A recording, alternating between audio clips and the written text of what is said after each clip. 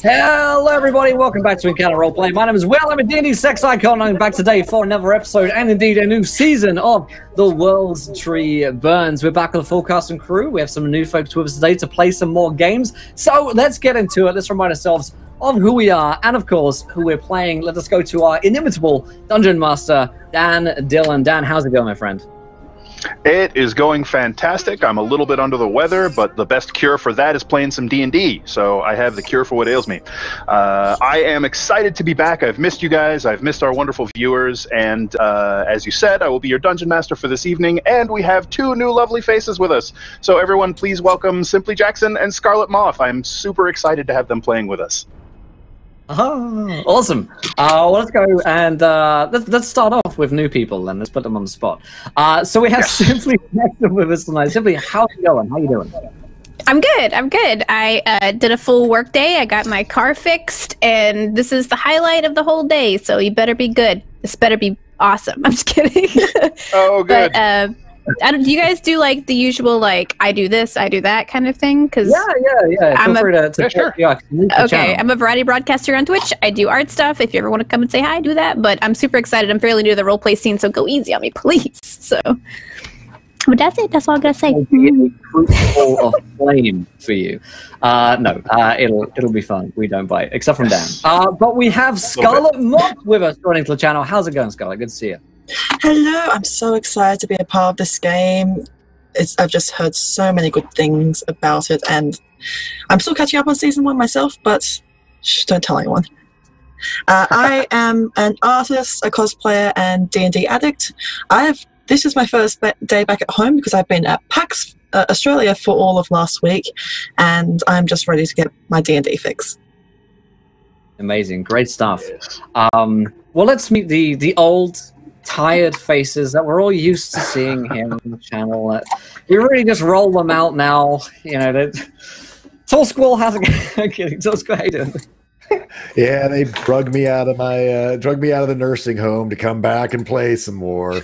Uh, but uh, it's always great to be back here. I cannot wait to journey back into Midgard. I uh, have been a, a huge fan of Midgard for like all my D and Ding, and to play here is always so much fun. And to uh, prance around in uh, the fun and excitement that is uh, Dan's uh, campaign, and especially with some new folks, I'm looking forward to it.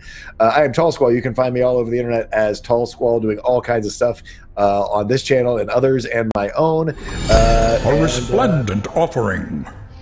oh, dear a Lord. giant donation just showed up, so thank you. And uh, yeah, let's uh, get this. Uh, let's get this potato rolling. Let's do that. I'll take fixing up for the donation. I'm going to file it off to uh, to Dan here so that he knows what's going on. Uh, thank you that as well, Tremwire, giving the wild magic surges to uh, to the new players. We'll get we'll get into that in a minute. But uh, of course, we have McCloken with us as well. How's it going, Lo? Good to see you, buddy. Hi.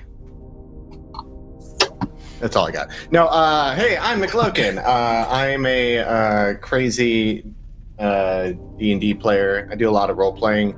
Uh, I uh, my own show. I'll probably talk about that after the whole show's over. Today I'll be playing Cloak, the lovable gnome ranger who knows everything and is honest and will do anything to save his puppy. Um, that's that that last part's probably the only true part to anything I just said. And simply, we've played in a game together uh, Mhm. a while back, Mhm. so you can't say you're new to role playing. No, Have we- here's the we thing. played a okay. Let me have this, McLookin. No, um, I haven't played D and D since I was like 19. So I've done other tabletop Oh, RPGs, D&D, okay. but but I will be the question asker of the season. So if you want to mute whenever I talk, it's totally fine. It's fine. Oh, we like questions. We like new players. Yeah, I don't know the rules, so I'm just going to vicariously learn through you asking questions. That's my plan, at least. Uh, Perfect. But, uh, yeah, that's fine. Uh, before we get started, oh, are we playing Riordan, the Dhampir cleric? Um, he was just actually at the end of last season. Spoiler alert: he lost his best friend, uh, possibly his only real friend in life. That was Aw. Kane. No, Cloak's still Uh, here. Well, well, yes, darling, but uh, that's um. but he'd known Kane for actually hundreds of years, and uh, and Kane passed away at the end of the last uh, uh, session. So uh, Riordan is coming back a little bit darker. He's going through his Spider-Man free emo phase right now, and uh, I one of the worst phases to go through. Let me tell you. Uh, worst but I'm looking forward to it nonetheless. Um, oh, before we get started, as well as roll for the sponsors, the first of which is, of course, our good friends over at Kobold Press. If you didn't know, this campaign is sponsored by Kobold Press. Go to their website, koboldpress.com, and check out all of the Midgard materials there. We are playing in the world of Midgard, which Dan Dillon is about to transport us to. It's a good time. So definitely go and check it out if you haven't yet. Uh, it's uh, sort of darker fantasy than you might be used to on the Forgotten Realms. It's a breath of fresh air if you've playing, been playing D&D for a while and really, really enjoyable. Um, and of course, we're sponsored as per usual by FantasyGrounds.com, our virtual tabletop of choice. Definitely go ahead and check those guys out. You can play on their, uh, their site for free with the demo version, and they have other licenses available as well. Then, of course, WaylandGames.co.uk is a go-to destination for war games, board games, and minis, and so much more. So definitely check those guys out as well. They sponsor and support the show. And last but not least, TabletopLoot.com give away a set of dice at the end of each of our games. So stick around to the end of this one, and we'll be giving away a set of tabletop loot to you guys there in the chat. Think that's mostly it. Oh, here's the uh, sponsor. Thank you guys for all the subs and the sub gifts. Uh, there is the uh, tweet for you guys. 20 retweets. You guys get to decide something which happens next in our campaign. And of course, you can donate to the game as well by giving players that ones, that 20s, wild magic surges, and worse, as you already have done. But let's hand over the reins back to our inimitable dungeon master, Dan Dillon. Dan, you want to remind us quickly a little bit about what happened last season on the show and take us into tonight's episode of The World's Tree Burns? Oh, sure. Should we do like a kind of a shotgun recap of the season or just right where we left off? Let's, let's hit some of the highlights, you know, like 20 seconds, sure. boom, here we go, yeah. Yeah, sure. So, in the first season of The World Tree Burns, our heroes who had been uh, adventuring together for a short time uh, were hired to recover some stolen property that was taken from the Arcane Collegium, which, if you're not familiar, is the uh, essentially the arcane magic college and uh, Brotherhood of Wizards, sorcerers, and uh, research laboratory and library in Zobeck, the Free City.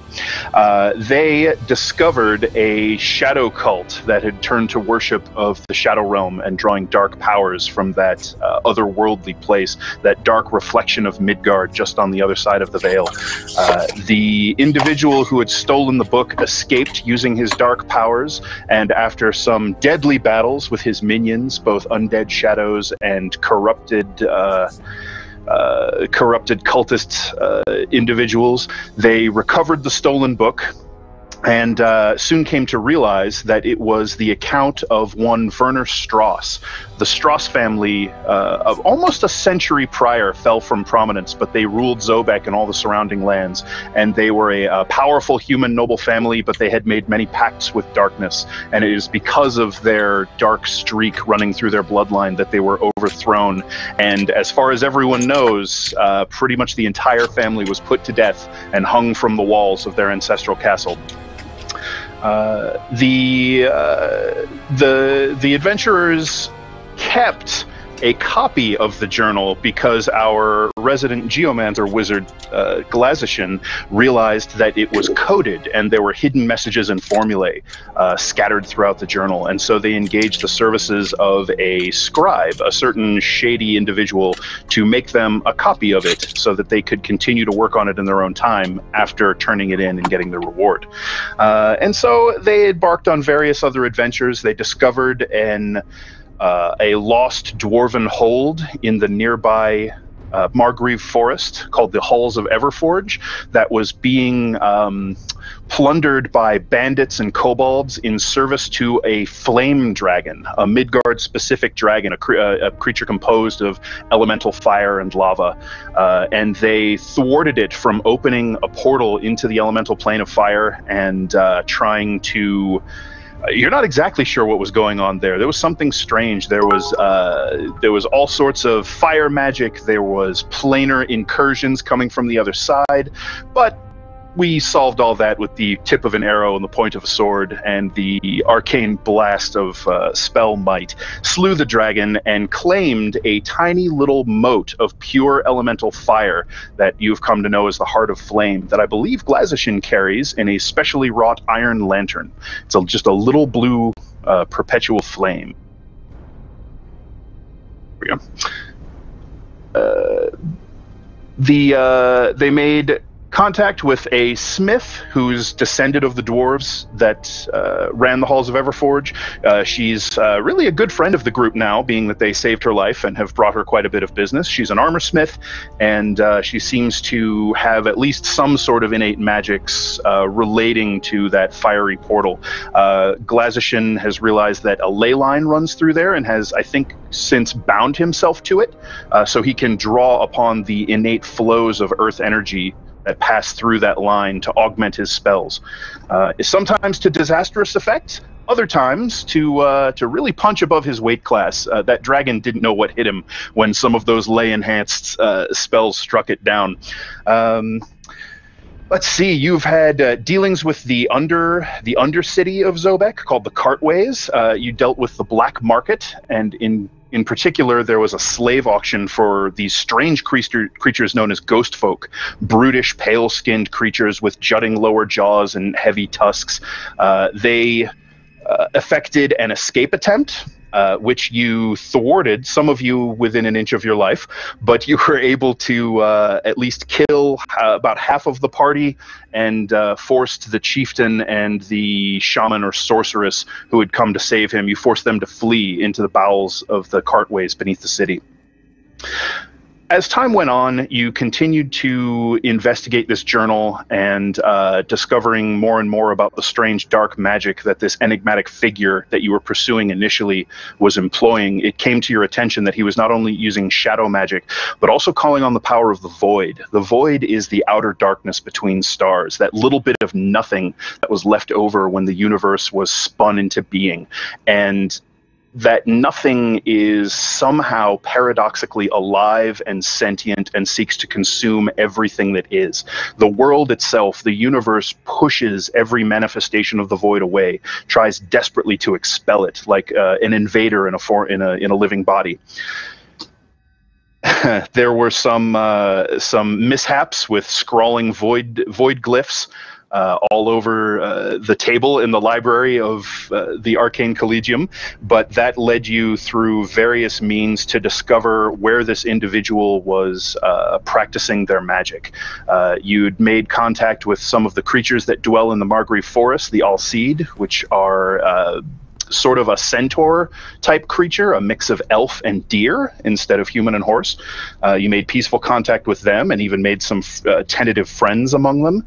Uh, but once you realized that whatever this individual was doing with their dark magic was disrupting uh, large flows of magic through the world, you were uh, spurred to intervene. And that sent you riding north, three days north of the city, to Castle Shadowcrag, which was once known as Castle Stross, was the ancestral seat of the Stross family.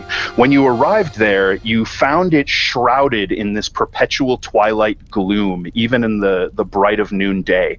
Uh, it was very, very strange. And Cloak, who has taken on the path of the Horizon Walker, could feel a twist in the fabric of the planes, like the entire place was being pulled somewhere else, or somewhere else was being pulled here. It was very strange and disorienting and disturbing.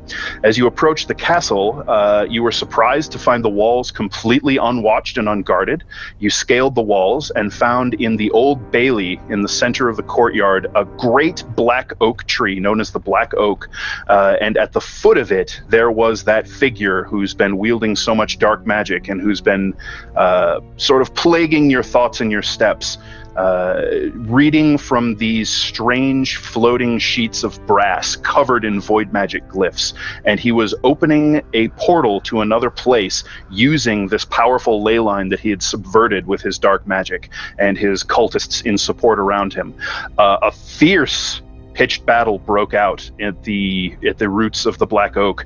And uh, after much bloodshed on either side you managed to slay all of the uh, cultist support and bring the void speaker himself to within an inch of his life. And with his very dying breath quite literally he hurled a bolt of nether energy towards your friend Kane the uh, the Dhampir bounty hunter, who unfortunately was not able to dodge the bolt, and it struck him straight through the heart, striking him stone dead in an instant, in a, a moment of disbelief and uh, and stunning sorrow that settled over our heroes. Uh, in that moment, the Void Speaker gave the last of his life energy for that final strike, and as well to twist that portal to a far flung location in Midgard, uh, a great lush forest at a at a, a, a, wide rushing river, and there was a creature there, a towering being, clearly something of the void. You've known of it as a dread walker, and it somehow pulled this aberrant creature from where it was in the forest to somewhere else, a plain of dust and desolation and lifeless barren land.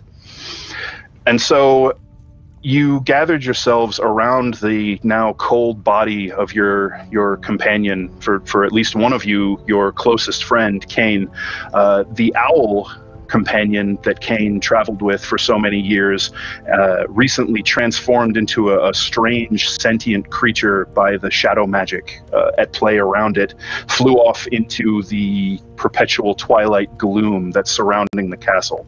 And uh, you take a few moments, you can gather uh, what fallen trinkets you can glean from your foes that you've slain that litter the courtyard as the strange portal collapses in the roots of the Black Oak.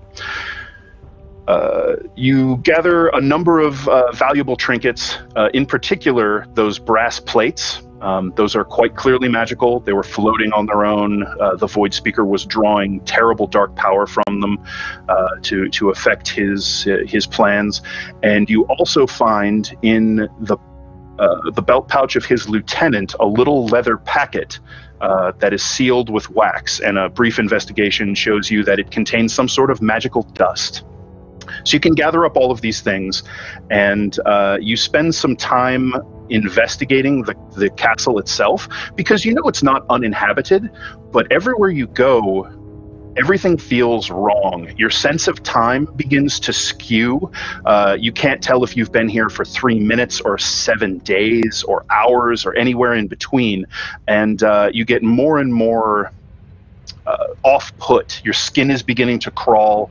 Uh, you're getting the feeling that you're being watched everywhere you turn. And every now and then you see these ghostly apparitions of people men, women, horses, uh, shadow fae, uh, twisted looking individuals, these dwarves with sallow gray skin. They kind of blink into being ghostly and insubstantial and just sort of move about the castle, almost like uh, it's like you're watching a film set to the wrong speed. Sometimes it's too fast, sometimes it's too slow. They just sort of blink in and out of being. And the longer you stay there, the more erratic these apparitions begin to become. How would you guys like to uh, handle the aftermath of that that strange encounter? Well, oh, Jay. Glaz, you're uh, muted.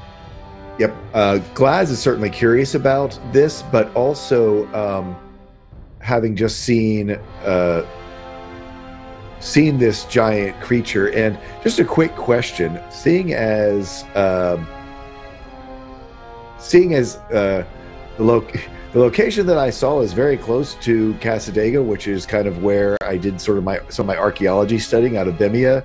Would I have heard? I mean, of I mean, sort of this legend of uh, I'm, I'm going to try to say it, Yagardraketh. Um, I mean, we've we that heard that name in the library, right? Well, you heard it because um, you more saw it because I believe uh, Kari wrote it, sort of automatic writing, right. thinking back to her nightmare. She wrote it in this endless spiral that went off yeah. the page and onto the table, and those uh, those blasphemous glyphs began to burn themselves into the wood and rot the very substance. Um, you don't have any specific information on that name, although it does. I mean, you've heard, you've made a, a, a very minor study of the, the Dreadwalkers in the Western Wastes. Right. Um, and it seems similar to that. Yeah, enough to know that, hey, that was probably a Dreadwalker. Yes. I, am very concerned about what we just saw, my friends. Uh, that is most certainly a Dreadwalker, but it did not seem to be everything I have studied is that the Dreadwalkers are frozen, and that one did not look like he was very frozen to me. Um, and he went from wherever he was to somewhere else. And with all of this void magic, we saw how dangerous all of that was back in the library. And now these phantoms from the shadow realm that are inhabiting this place, we should not linger in this place. Remember, and I look to, Mc, I think, wasn't it McCloakin and Rayodan who got shadow sickness? Way Uh, back. it was it Like was episode everyone but Right, you yeah. and Kari. It was everyone Right. but Glaz and Kari. Glaz made a saving throw, and Kari is a, Kari is Right. at home. The, the touch of shadow Yeah. Perhaps we uh, will find Kari- ourselves. In, is essentially um, in stunned silence, uh, mostly, and she's kind of gathering uh, uh, Kane's body uh, during this time and preparing it for transport out of this terrible place. Riordan will join her in doing so. He also doesn't speak. All right. Uh, at, the, at at that point, like as uh, uh, Glaz is talking, Cloak uh, would walk up to him and um, it's a lot of bits. Uh, he would uh, you for the donation. uh, look at him. And he's ooh. Uh, Um, so, uh, question. Uh, is the Shadow Road okay now? Uh, okay, Glaz, you can open your senses to the ley line. Uh, as you do, you can feel it. Uh, like I said before, building and surging and pounding like a, a, a massive river that has been very suddenly dammed, and is that pressure is just building behind the dam. The dam has broken, but somehow the river is still being diverted, but not as directly and not as strongly. You can feel it flowing all around you now, and that uh, that sort of mournful violin music plays all around you and gives you that just sort of melancholy uh, droop to your shoulders. And as you look around, you realize that whatever the hell is going on with this castle, that perpetual gloom that's surrounding it right now, it's very much tied, uh, along with what was happening with that portal, to the power of the Shadow Road ley line. It's being sort of twisted and pooled around the castle. The Shadow Road is. It is better, but it is not fixed. It is not well. Uh, whenever something this massive is drawn upon it, it's like it's like a uh, an elastic. Uh, it it springs back and forth. Or a spring, it goes back and forth a little bit before it all settles down. Or a, a pond that once disturbed takes a while to again become smooth and tranquil. We are dealing with I- that. I- I, I was just more concerned if it's still being blocked up because, you know, uh, but I understand that it's gonna fix itself after a while, but yeah, I think we should get the fuck out of here. I, I agree. It seems as though the blockage has is not as it was. It is a um, well, uh, to put it in layman's terms, uh, it, uh, it it took a big took a big poop, and now it is feeling better. oh, Glaz. Uh, I mean, let's see. understand Uh, Cloak, you have to kind of activate your portal sense, right? Uh, that's yeah, not just sort and of I only can do it. Let me let me double check something because I think I Sure. can only use it after a long rest. Let me see.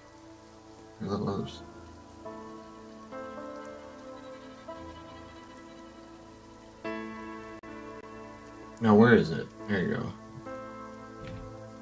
Uh.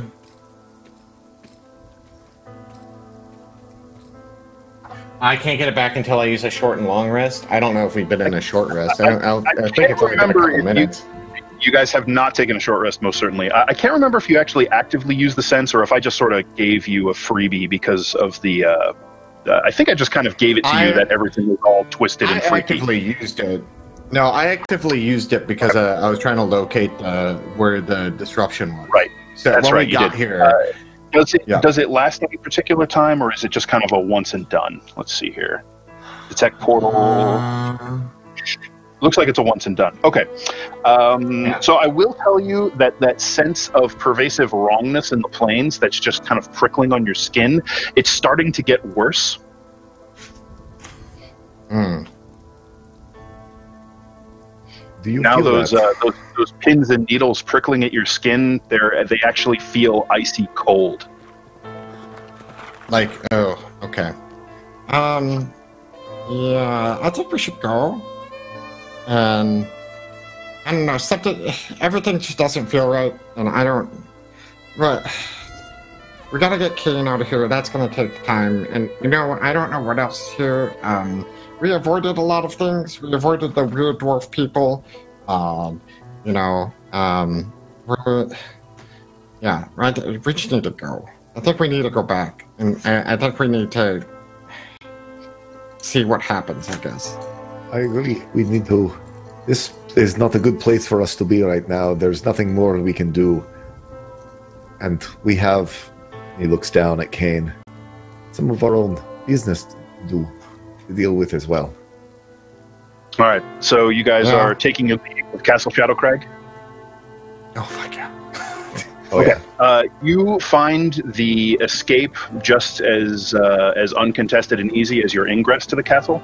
Um, you can tie Kane's body in a blanket or a, a bedroll over the um, the saddle of that strange uh, reptilian mount that he'd recovered from that destroyed Mharoti Empire. Uh, caravan that you'd come across on the way here, and then just sort of lead it, and it'll follow you. It seems to be a well-trained mount, uh, despite its very strange and almost alien nature to most of you.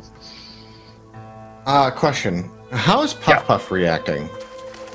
Puff Puff, uh, when you guys get, you left Puff Puff outside the castle, if I recall. So when you get outside the castle, you can actually yeah. unbar the gate from the inside if you want, and just make your make your exit that way. No one tries to stop you. You don't even see any actual physical, corporeal, living people. It's all just those strange images out of space and time. Uh, blipping around you, and as you're leaving, some of them start to notice you. They start to kind of look in your direction, although it looks like they kind of look past and through you. So whatever's going on here, it's either getting worse or it's reverting to normal. You can't tell, and you're not sure which one's better. Uh, so you throw the the massive bar on the gates aside and push them wide, and you find Puff Puff sort of pacing back and forth. Uh, the hackles on her golden fur are raised, and she has this kind of nervous drool rope pouring uh, out of her jaws, and her silver eyes fixed on you, cloak. And she, you can just feel the relief as she sort of yowl barks at you and lunges forward and starts licking your your face and mask. So you That's guys can uh, what he's doing. you guys can mount up and uh, and ride away from here as quick as as quick as your your animals can carry you. Riordan definitely does this, yeah. All right, so we'll uh, we'll make the the three day trip and such back to to Zobeck quick. Uh, it is essentially uneventful uh, as long as you guys stick to the road. Even going through the Margreve, you can feel that uh, that sense of. I hesitate to say sentience, but that's close to it, just sort of pressing in on you in this dark primordial forest. Um, Glaz, anytime you bring the Heart of Flame out, if you ever use it to light your way or open the shutters on it, you immediately feel this this almost this wave of animosity towards you, and so it kind of gets to the point where you realize you want to just sort of keep that stowed and uh, tuck it away because it seems like the forest away. very much doesn't like it. No, All I right, think so, the uh, forest likes fire. Yep, you uh, you all make your way back to a Zobeck. Uh, you make your way back to Zobeck, and uh, you. Uh, how do you what what disposition do you want to uh, to to give to Kane's body? What what arrangements or uh, or you know, what do you want to do with that? I think me and Uh, I would, I would, yeah, I would look Good. at Riordan and looking for that info. I'd be like, what, Absolutely. What, what do you want to do? Yeah, he hasn't spoken since um since the the, the trip back. Um and uh, during the course of the arrangements, probably doesn't say much aside from sort of short clipped instructions on what he needs people to do. Um, and he probably just finds, um, yeah, he finds a like a crossroads just outside of Zobeck before we come back into the city properly. uh, because he knows that Kane was a uh, bounty hunter and always uh, sort of walked the crossroads in his life. Mhm. Um, and it's a really simple affair. You know, Kane wouldn't have wanted any, uh, you know, real pomp or ceremony. So I think Riordan uh, sort of, you know, wordlessly watches his friend uh, go go six feet under, um, just on the just the side of a crossroads, and Okay, uh, so he doesn't guys- he doesn't say any words. He's he's not able to to to say anything. Uh, Kari will probably say a few very simple words. Uh, it, it probably amounts to um, uh, a testament to his life, how he lived as a hunter, and now his hunt is ended, and others will carry the hunt in his place. And that's pretty much it. And and she uh, she might place a token like. Uh, the claw of an animal or a, a fang of uh, one of the, the beasts that you've slain, you've uh, you've slayed in your uh, your travels, uh, on his grave as a marker, and that's it. So he's left with a, a very simple, functional grave at a, at a roadside on the crossroads just outside of Zobeck somewhere, and and you turn back to your lives in the city. I probably leave my uh, my my family symbol uh, Okay. with him. Uh, While he wasn't last. a member, while he wasn't a member Mm. of your family, he was he was the next best thing. He was close to it. I mean, you grew up with him, essentially thinking of him as Uncle Kane. So uh, Yeah, so, the- yeah, I that- think by the end he saw him closer to an older brother. Um, sure. So yeah, he uh, he leaves that with him. And The uh, the peculiarities of uh, races that don't age quite as we expect them to uh, as as humans. yeah, Uh, so you you start you know I mean you knew him as a child and then as you grew he didn't he never aged and so you just sort of got closer to him in uh, maturity and uh, and social standing and all of that rather than both of you continuing at the same gap if that makes sense. So, uh, you all return to Zobeck, and uh, you find yourselves settling into a period of peace and quiet, uh, as far as it can be in in the free city. It's uh, it's a loud, noisy, bustling place full of life and commerce and clatter, and uh, but it, it's almost shocking going from uh, death lurking over your shoulder at every turn as you have been for for so long now to uh, probably a, a period of several months of normalcy. And uh, so how do how do you adjust to that? What do you what do you guys do for that time? Anything in particular? Just kind of give us a brief overview of your your time following the events at shadow crag. Um, I think Glaz, feeling very guilty, is going to help repair their little uh, room that got destroyed that uh, for the uh, Kettle Whistle. Uh, Right. And uh, probably going to do that. He also has uh, a couple of spells uh, that he can that he's going to spend his time transcribing uh, into his uh, spell book. Uh, ones that he had recovered from out of the um, the Stross family diary that he uh, didn't have uh, time or funds or means to be able to do that now with a, little bit extra coin um, or coin that he wasn't willing to spend before. I think he is thinking he wants to spend it now uh, Sure. realizing just how ugly that fight got that these are things that he probably should uh, try to put in there. Uh, I, i'll let you know which ones. I do I'm not, i don't have enough to do all of them. I'll probably just do one which is going to be the uh, and I assume you're going to be over the course of the uh, the, the the few months. You're going to be continuing to tinker with the the copy of Stross's journal that you have. Yep, I will continue to tinker, and then I also uh, I'm going to go and uh, take up our good buddy. Uh, I've got it right here. Um, our good buddy, Master Diviner uh, Rudwin Whitstone's uh, um, council, and present myself Join the to the Collegium. to, to join the collegium. All um, right, and begin uh, Yeah, go ahead, sorry. that process. All right, cool. Uh, all right, so that's what Glaz is going to be up to. Uh, how about Riordan? What are you going to be up to for the next uh, next couple of months? yeah, Riordan does not cope well with the, the death of uh, of Cain, perhaps because their lives are so much longer. The period of grief, uh, which they they oversee, at least for Riordan, is a lot longer because pretty much as his last family member, so Riordan uh, falls to pretty much all of the vices that he could fall to: uh, drugs, alcohol, prostitution, uh, at the uh, uh, place that he lives in. So he, I think, lives a very destructive life over the next few months and uh, Right.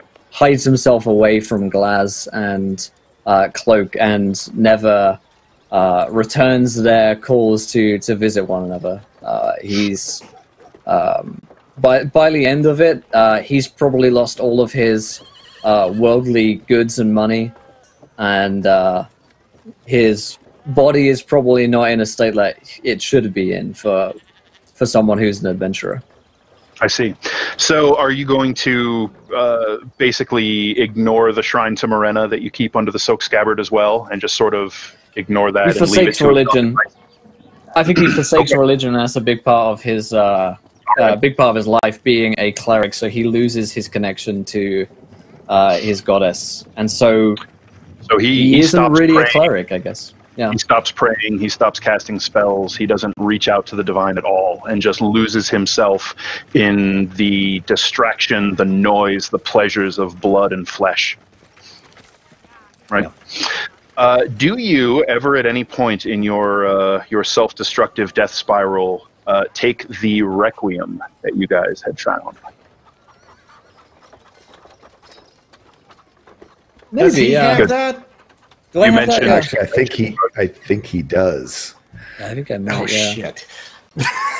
Or actually, yeah, I think that. I mean, you have it on you, um, either for to sell it for other stuff or take it yourself. I believe that you ended up with it. Oh yeah. I don't know. Yeah. As as a quick reminder, refined requiem is this um, sort of off-white crystalline, very fine crystalline powder, um, almost like if you ever get the very fine-grained sugar, not quite confectioners or powdered, but just very, very fine-grained granule sugar, um, and it has this strange earthy smell. And you know that it supposedly opens your perceptions to things beyond the world, um, but is also highly valuable and highly addictive.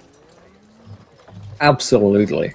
If anything, that's an addictive substance. Uh, and Riordan's got a really addictive personality, so I think he's just, vi- you know, he's in a, he's in a stage of his life where he is making all of the wrong decisions, even when the right decision is presented before him, and he's in that Okay. spiral of being I'll unable just make a note of that, and we will come back to it. All right. So, cloak.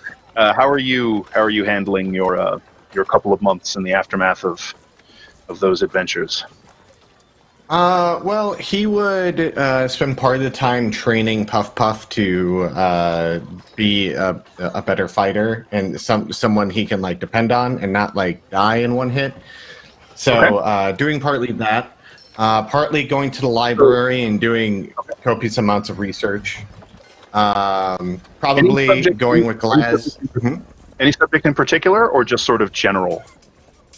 Uh, same thing with uh, tracing the the dragon and all that, but uh, the the study of planes and like the different planes, and then mainly Oh, right, the- uh, the the different roads that are in Midgard, um, and Shadow- how Shadow they, Road. uh, Shadow roads in particular. yeah, Okay. yeah, um, and uh, and anything that they can do, um, or uh, well, actually, uh, no, never mind that part. Uh, so, um, but he would go with Glaz when he goes to the Collegium. Uh, he's not a part of the Collegium, but he's like an acquaintance of the Collegium, I guess. Um, and uh, would talk to the Master Diviner with Glaz, uh, help re- uh, replenish the home that we destroyed, uh, Sure. or the guest bedroom that got fucked up. Um, and then uh, he would uh, talk to Paula Everforge to see if he can uh, work on getting a magical saber of some sort, um, or uh, imbuing magical properties into the saber that hi- uh, his family saber, um, and uh, doing stuff like that. And I'm trying to think if there's anything else I would like to do. Um,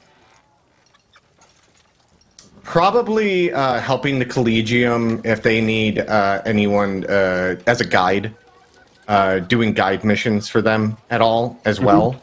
Uh, just because that's what he did, and he's been working more closely to the Collegium, so guiding like new mages to like their uh, like test area and making sure that they arrive there safe and back and that kind of stuff. Okay. Sounds good. That's uh, that's a good chunk of stuff to be doing. Uh, Kari, you will see her. Those of you who keep in touch with your companions will see her frequently for perhaps the first few weeks following the events at Shadow Crag. Um, she doesn't stay in the city terribly much. She tends to stay outside of it in the outskirts. Um, she kind of falls back into some of her older patterns before you all settled in to your places at and around the Silk Scabbard uh, with the events surrounding this journal. Uh, and then after that, you start to see her less and less. And then after perhaps a month and a half or so, she sends you a very curt message that. Uh, her queen has called her home, and her skills are needed on the other side of Shadow, and that she will never forget all of you, and to always be vigilant in your hunt. Never forget that you are the hunters, not the prey. And uh, then she is gone. What a bitch. Cloak, ladies and gentlemen. All right. Uh, so, Rowan. It's winter. The sky is leaden gray overhead and the clouds are low. The snow falls deep in the Northlands, and you are learning at the feet of your grandmother just outside Wolfheim. There's a village nearby. The village comes to her for help when they absolutely need it, most of them. Your kind are looked at with suspicion and awe and fear because they know that you're the eyes and ears of Wotan. You are the feathers of thought and memory fallen to Midgard and given form and flesh and will and they know that any of their secrets at any time could be taken to the Rune Father for what purpose they can never fathom. Perhaps sometimes it might weigh on you, it might sadden you that other people see you thus, but but as time goes on, you at least come to terms with your lot. And so, up to you to decide whether you uh, resent this or whether you find some peace or place within it. But your grandmother teaches you. She teaches you herbs and remedies. She teaches you how to watch the signs in the flight of birds, particularly in corvids, ravens, and crows that are so beloved of Wotan, the Rune Father. What is uh, what is your childhood like, growing under your grandmother's tutelage as a as a wise woman? Uh, Rowan's childhood is at times bleak. And it's strange, but never seems strange to her. She's learnt to find find futures in in the entrails of of the dead and is quickly taught how to create her own divination tools from the bones of the uh, recently departed, carving runes into them uh, in honor and under the tutelage of the All Father, the Rune Father, and she comes to terms with the fact that others will never look at her lot the same way. It's almost wise of them to fear them or be suspicious since they are the chosen of Wotan. They are the eyes and the ears and upon her feathers is his will. Very good. So that realization, when she comes to it early, serves her incredibly well as she grows because while there is that thread of respect and awe that follows the Raven folk, there is just a healthy dose of fear, misunderstanding, and mistrust that follows them. Because despite everything the Raven folk do and are, they are to an individual thieves. They're always stealing secrets. They'll nick uh, little shiny baubles like the crows they so resemble. Uh, they will scatter them around their homes, little bright bits of ribbon taken here and there from something dropped from unsuspecting passersby, something that will be overlooked and never needed. Uh, they're not malicious, of course, uh, but it's their nature. And so you spend your formative years collecting the secrets of those who come to your grandmother seeking her wisdom and seeking her her remedies. They they ask for assistance in love. They ask for cures for illnesses. They ask for help in childbirth when the other midwives aren't available, or if the person in question is an outcast or a pariah of some kind. And you see many, many outcasts and pariahs that come along the uh, the low, windswept hilltop where you and your grandmother live. Your grandmother is a wise old bird and she delights in recounting stories of her long life to you, often using the voices of those who came before and those who played parts in these stories to tell you of the events rather than her own. It got to the point that sometimes you actually forget what her voice sounds like because she speaks with so many others. It almost becomes a game to see if you can get her to say something in her own tongue. I feel that that's a game amongst younger Raven folk as well, using their mimicry mm-hmm. almost exclusively. It is exactly, and as you as you grow, you come to see the wisdom in it. That it teaches you to, uh, as you steal those secrets, you steal the voices that carry them, and those themselves become tools in your arsenal. Uh, both because you know that everything you learn will one day be returned to Wotan's lab, to add to his knowledge, the knowledge that he snatched out of the very void itself, where others fear to look, definitely fear to tread. He stared long and hard at the cost of his eye, some say at the cost of his life, hanging in the branches of the world ash for days, dead, and then returning to life with those stolen secrets. It, from him flowed the rune magic that uh, is the stock and trade of certain persons of power in the Northlands. And your grandmother passed along just a few of those secrets to you as well. As you grew in your connection to the Rune Father, you began to pray to him in your voice and others, and he began to answer.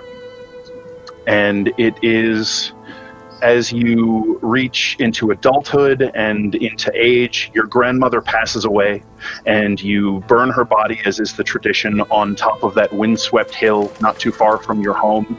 And you Though you mourn her passing, you rejoice in the chorus of caws of a, murder of crows that passes overhead as the ashes of her pyre is picked up by a phantom wind and blow out over the mountains. And you know that everything she learned and everything she gleaned is going home, as it should. And you find yourself simply settling into life, taking her place. And you begin to offer your wisdom and your remedies to those who have aches and pains, those who seek curses against their enemies. Those, that's often a difficult business because the person asking the curse usually is the one that pays the price. And you try to warn them. Some listen, most don't. They're blinded by their hatred or their desire for revenge. And so they pay, and you intercede with Wotan on their behalf, and you let them to their fate. It was their choice after all, and you warned them you see many more of those outcasts and brigands and outlaws who sometimes need something and they know that you're the only one who can provide it. And that offers you a measure of protection even from these uh, bloodthirsty individuals. You know that should they strike against you, not only will the wrath of your people with whom you keep in touch. They move about the Northlands in a sort of loose network, but the wrath of the Rune Father will fall on them, and they know that too. They know that killing one of Odin's Wotan's eyes is a tremendous risk, and very few people are willing to take it unless given absolutely no other choice. And in fact, one did try to seek some sort form of vengeance upon the fate that I had told him, giving me the scar across my own right eye, which in turn only made me more feared as Wotan's voice. Yes, that one foolish assassin. You never really understood what his purpose was. You assume he was angry about a foretelling you'd given him. You cast your, your rune bones one time for this individual, this pale skinned, dark haired figure. Uh, not a native of the Northland, someone from the south, you think, but they he spoke your he spoke the northern tongue fluently enough, and he had silver and gold to pay you for your services, and so you offered it, and you warned him of a great calamity that would one day befall he and all of his plans and all of his blood. And he became enraged at this and he stormed away. And then he returned a few nights later, trying to perhaps forestall the hand of fate by slaying the, the beak that spoke the words unto him. You're not sure. All you know is that the scar is testament to his failure, and the village, whisper what they will behind your back, are all the better for his uh, blade's inability to find its true mark. You never saw him again. You never heard of him again, but you remember one strange thing, just this image that sort of echoes over and over, and that was his obsession with your blood. He kept saying something about he was there for your blood and only your blood would undo what you had done. But he failed, you live, and the world turns on. In the nearby village, Tilly, your earliest memory is a fire. And not not a house fire or, or a campfire, something in between. A great fire that dominates your memory of this event. It was warm, and you could smell the wood smoke and something else, something deeper and more pungent, perhaps some sort of herbs or roasting meat. There is a sense of sadness surrounding this fire, not from you, but from around it, perhaps from other people. You don't really remember other people. This is your very earliest memory. And you just remember feeling like that sadness you could you could displace it. It could be your place to push that sadness away and bring something brighter in its place. And that's what the light and warmth of that fire meant to you. The driving away of the cold dark sorrow and leaving something brighter to show you the way. Years later as a as a, a young girl, an adolescent, work uh, living at your mother's side. Your father, long gone, you don't even remember him. Uh, your mother tells you stories of him often, so despite never knowing him, you feel that connection, and you see his uh, his weapon hanging above the hearth, and every time you look at it, it brings you comfort. Uh, when your mother tells you the stories of his prowess in battle, his acumen on the high seas, uh, there were few Reaver captains who could navigate by star. Uh, by moon, or even just by gut feel, the way your father could. Your mother was a leather worker, tanner by trade, Despite that, she is the best shot with a crossbow in your village, and she sees to it that you're taught. She sees to it that the men and women at arms of your your village take you under their wing and under their shields and teach you how to carry yourself and survive in this world.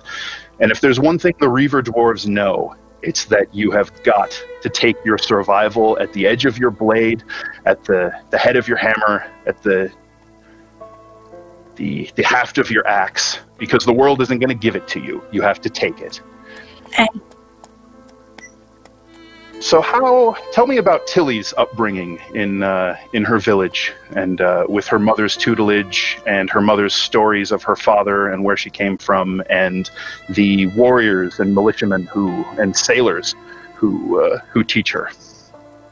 I think uh, Tilly's um, childhood and early adolescence, and even young adulthood, coming into who she is now, is just riddled with stories of um, loss and greatness, and um, battles that m- many, many Reaver dwarves previous to her generation had fought, and um, had to learn the idea of braving death, but in the same time relinquishing the fact that life is life and it's going to be fruitful and wonderful, but you almost have to face death in order to feel the um, or be brave enough to deal with war and fighting in order to taste how good life is going to be.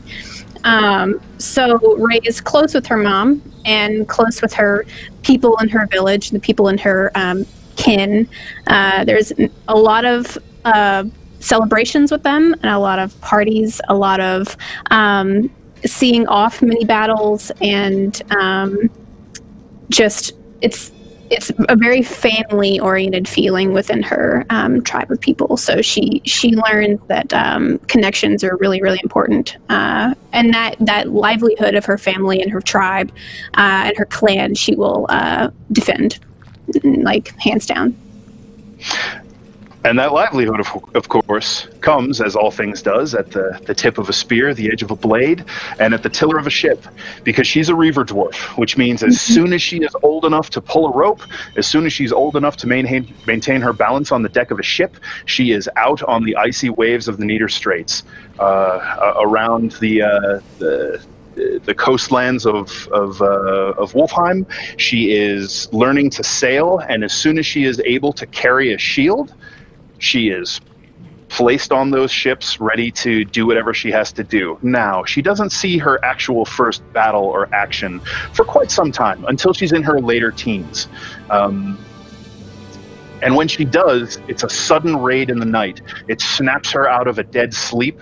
There is screaming of death and shouts. There's the orange glow of fire spreading through the village, the smell of smoke, and the sound of clashing steel, slicing flesh and breaking bones. She takes up her shield and, without thinking, snatches her father's hammer from the mantle mm-hmm. above the fireplace and wades into darkness and death. And in that night, she is blooded in her first battle. She sees enemies die at the end of her weapon. She sees friends die under the blades of her foes, and terrible foes they are a raiding band of trollkin. Trollkin, creatures of fear and terror, who uh, strode out of the darkest nightmares and tales of the ancient Fae and giant folk, who mingled their blood with humans and dwarves and other creatures centuries back into forgotten memory. And until now, they are what they are. They are the Trollkin. But even in the midst of all this, even seeing your friends, comrades die, even seeing these creatures die under your blade and watching them burn to death, uh, because their their bones knit, their flesh mends, and you know that you have to burn them to kill them for sure. And you use that terror they inspire against them, because they fear fire above all things. They know it's their undoing. In the wake of all of that, holding a uh, a burning brand in one hand, with uh, the shield strapped to your left arm and your father's hammer resting against your hip you don't feel malice or hatred toward these these creatures. They're living their life just the same way your village lives theirs. This this was a good battle. These were good deaths. There's honor in this, and there will be honor for you and your foes. And perhaps you'll mhm. meet them again one time. You might even drink with them. You may mhm. face them in battle. You may kill more, they may kill you. But such is the way of things. Yep. As time goes on, you eventually captain your own longship. And on one of your first voyages out, you set upon another ship of reavers, and you and your men and women acquit yourselves with skill and bravery and surprise. You take them out of the fog. They had no idea you were coming, and they put up the best defense they could. But before long, the ship is yours, and the captain lies bleeding and broken at your feet. He coughs this bloody foam from his mouth from a punctured lung where your hammer shattered his ribs and drove it into his innards. And he takes the shield off his own arm and looks up at you through his glassy, dimming eyes and looks at you with this anger and regret, but above all, a feeling of respect. And he pushes the shield towards you, coughs once more, and then dies and the shield is a battered uh, round shield with a silver veneer with the hammered image of a raven on it. And somewhere along the way, that image had taken a great sword stroke or perhaps an axe blow, and there is a rent through the image of the raven, cutting across its left eye. Mhm. So you claim the shield as your uh, as the memory of your perhaps your greatest victory in battle and in raiding, when you you attacked and took your first ship of reavers. That led to taking a village, and that led to prosperity for your people for the rest of the season. Perfect. As you moved on through the years, you became acquainted with the old wise woman who lives up on the hill. Many of your people feared her, some of them respected her, but almost every family you know of within your village has sought her assistance at one time or another. Some of them hypocrites, some of them just quiet about it. But you saw something intriguing in the old raven folk who lives up in the stone thatched roof cottage up on that windswept crag of rock. And you came to Rowan more and more, even instead of going to the uh, the priest of Thor, who uh, who oversaw spiritual and times divine intervention for your people in your village. And Rowan, this dwarven warrior, one of the villages uh, down in down near the coast. You see her more and more over the years, and you watch her grow as she uh, she grows into young maturity for a dwarf. I believe. I don't think Tilly is terribly old at this point, is she? No. No, I would say like early 30s and human years kind of thing. So. Sure. So yeah, that sounds good. So uh, she, anytime she has an issue, or if she has perhaps a problem in need of talking out or uh, wisdom, or sometimes just in need of a friendly ear or just someone to talk with about anything other than whatever's going on in her life, more and more she finds herself at your doorstep and your threshold. And at first, you maybe thought she was one just like all the others, but over time, you realized no, this one's different. There's an acceptance to her, and she never gives in to the prejudices about the raven folk and she listens uh, intently to your stories and your tales as you bind one of her wounds or uh, provide her a poultice or a medicine for her or one of her people's illnesses. And uh, so, so how do you how do you two sort of uh, interact and and w- in what way do you maybe bond over the course of uh, course of years? As a sign of uh, respect, almost, Rowan starts to uh, refuses to cast cast the shaped knuckles and refuses to read the fate for Tilly. She sees that as the sign of respect to let someone have their own fate untold and forge it for themselves. Interesting. Tilly, what about for your part? Um, I think that um, feels as if she has to remain strong with her own kinfolk and has to not necessarily speak about any sort of weakness or fears with them because she wants to stay strong for her mother and she wants to be strong in battle and she's not sure about um, letting that go too much and the who are the who are the ravenfolk going to tell so she at first i think goes to them to speak to rowan about these things essentially to hope rid herself of the weakness but i think after time with rowan has learned to accept it um, through their friendship and i think in tilly's nature uh, might even bring small rewards from any sort of pillaging that she has been able to go on to Rowan. Just small, small collection, small, tiny bits of baubles and bibbles that she could pick up to give to her Nice. as a as a thank you. Because I mean, it's respect. You have to you have to pay for the time. You know, and she was always taught that from her mother of the ravens on the hill and stuff. So Uh, I would imagine, Rowan, that you appreciate those baubles and trinkets far more than something as simple and low as coin, right? Rowan appreciates worldly items.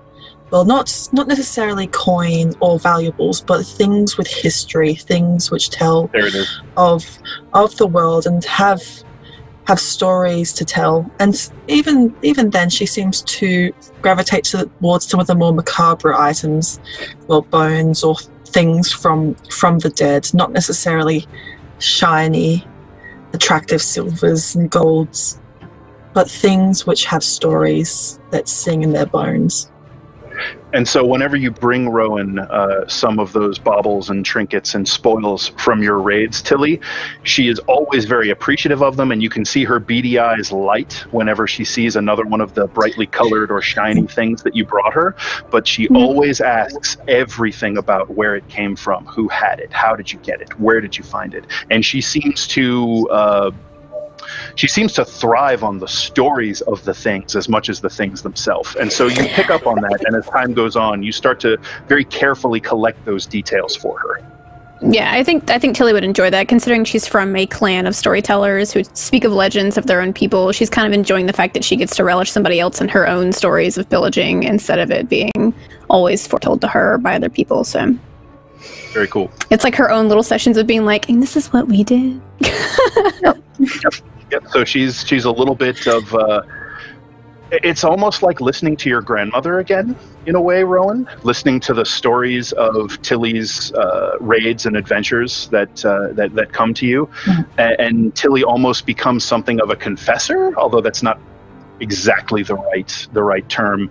Uh, you came to terms with your your lifestyle and your your way of life here in the harsh Northlands long ago, but something makes it uh, feel more real once you tell the story to someone and you know that that has passed on and uh, that that link of those events has been created. And so there's a, there's a great deal of mutual uh, appreciation for these story sessions.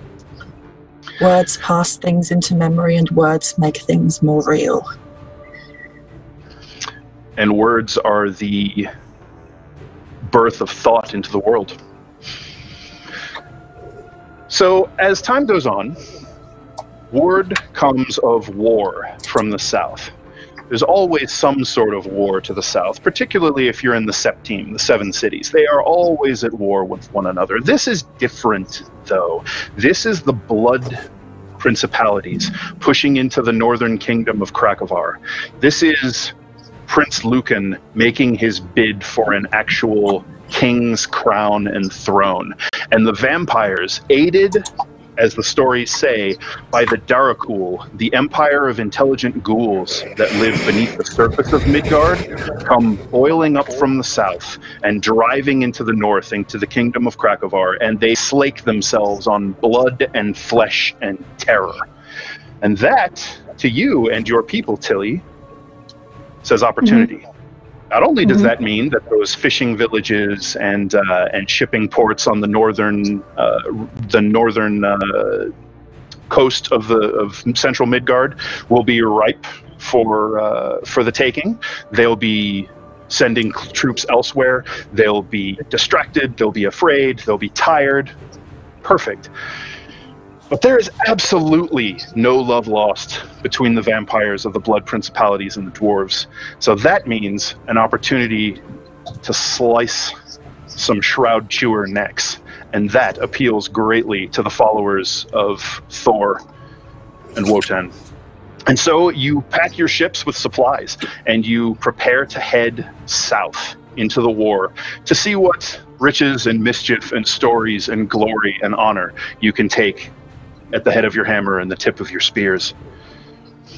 While these preparations are going on, and you excitedly uh, pass them along to Rowan, Rowan, one night after hearing uh, of Tilly's preparations to head to the south, you cast the bones, as you do often in front of the fire, in the, the gleam of your trinkets that you've gathered in sort of the, the aura of the stories that cling to them, and you see in the the simple wooden tray before you where the the knuckle bones with their carved runes clatter to the world weathered surface you see a sight of the future. Usually you get bits and pieces glimpses flashes of insight that sort of thing. This is a sudden and shocking vision before your eyes. You see blood spatter out under the knuckle bones, staining the wood, running down the edges of it onto the table and dripping onto the floor. You can smell it, coppery and thick, in the air of your home. You can hear it pattering to the stones. You look up and you see, staring at you, gleaming in the light of your fire, a silver raven with a great gouge across one of its eyes, and you recognize it as the image emblazoned on your fr- your young friend's shield. It tilts its head at you. Its beak opens, and this deep, resonant, booming voice echoes out to you. All hinges to the south. Go. Find the last drop of Osgrey blood. And then you blink as those words shake your bones, rattle your mind, and cause your feathers to stir. You look down, and the blood staining your your rune stones, your uh, your floor, your table, the tray, all the blood is gone except for one of the runes seems to have this crust of dry blood in the carved rune. Which rune is it? Ooh, that's a good question. Uh, it is. I know the one in my head, but I don't remember the name of it. One sec. Uh, Looking in the book, sorry everyone. Uh, you find it in the rune. Uh, Awaz, the yew tree, or Yggdrasil. This rune. Oop. My bad. There it is. It's also Oh, very known as uh, uh, part of the ZZ Top. And so, after this vision passes, you're left in this sort of state of shock. You've experienced these kind of visitations from beyond once or twice before, never anything this clear, never anything this powerful. And it leaves you a little bit shook and shaken. And it has a clear connection to Tilly. It seems to. It was the emblem on her shield that delivered the message unto you. Hmm. She sort of just clicks and warbles to herself. As she ends up uh, making more rave, bird-like, raven-like noises when she's deep in thought. kind of clacking her beak and Mm. cawing softly. And so, what do you do in the aftermath of that uh, that premonition? It's going to definitely ins- inspect the rune a lot closer. It's almost sniffing, tasting the blood, trying to see uh, what what portent it has. You can you can smell the uh, the iron tang of the blood, although it's very faint. It, it doesn't really have an edge, uh, and as you look at it, it is sort of um, dry and crusty, like an old stain or a scab. It I- tastes dead, like old. You just you know what I mean? Just that old, dried, crusty, nasty blood.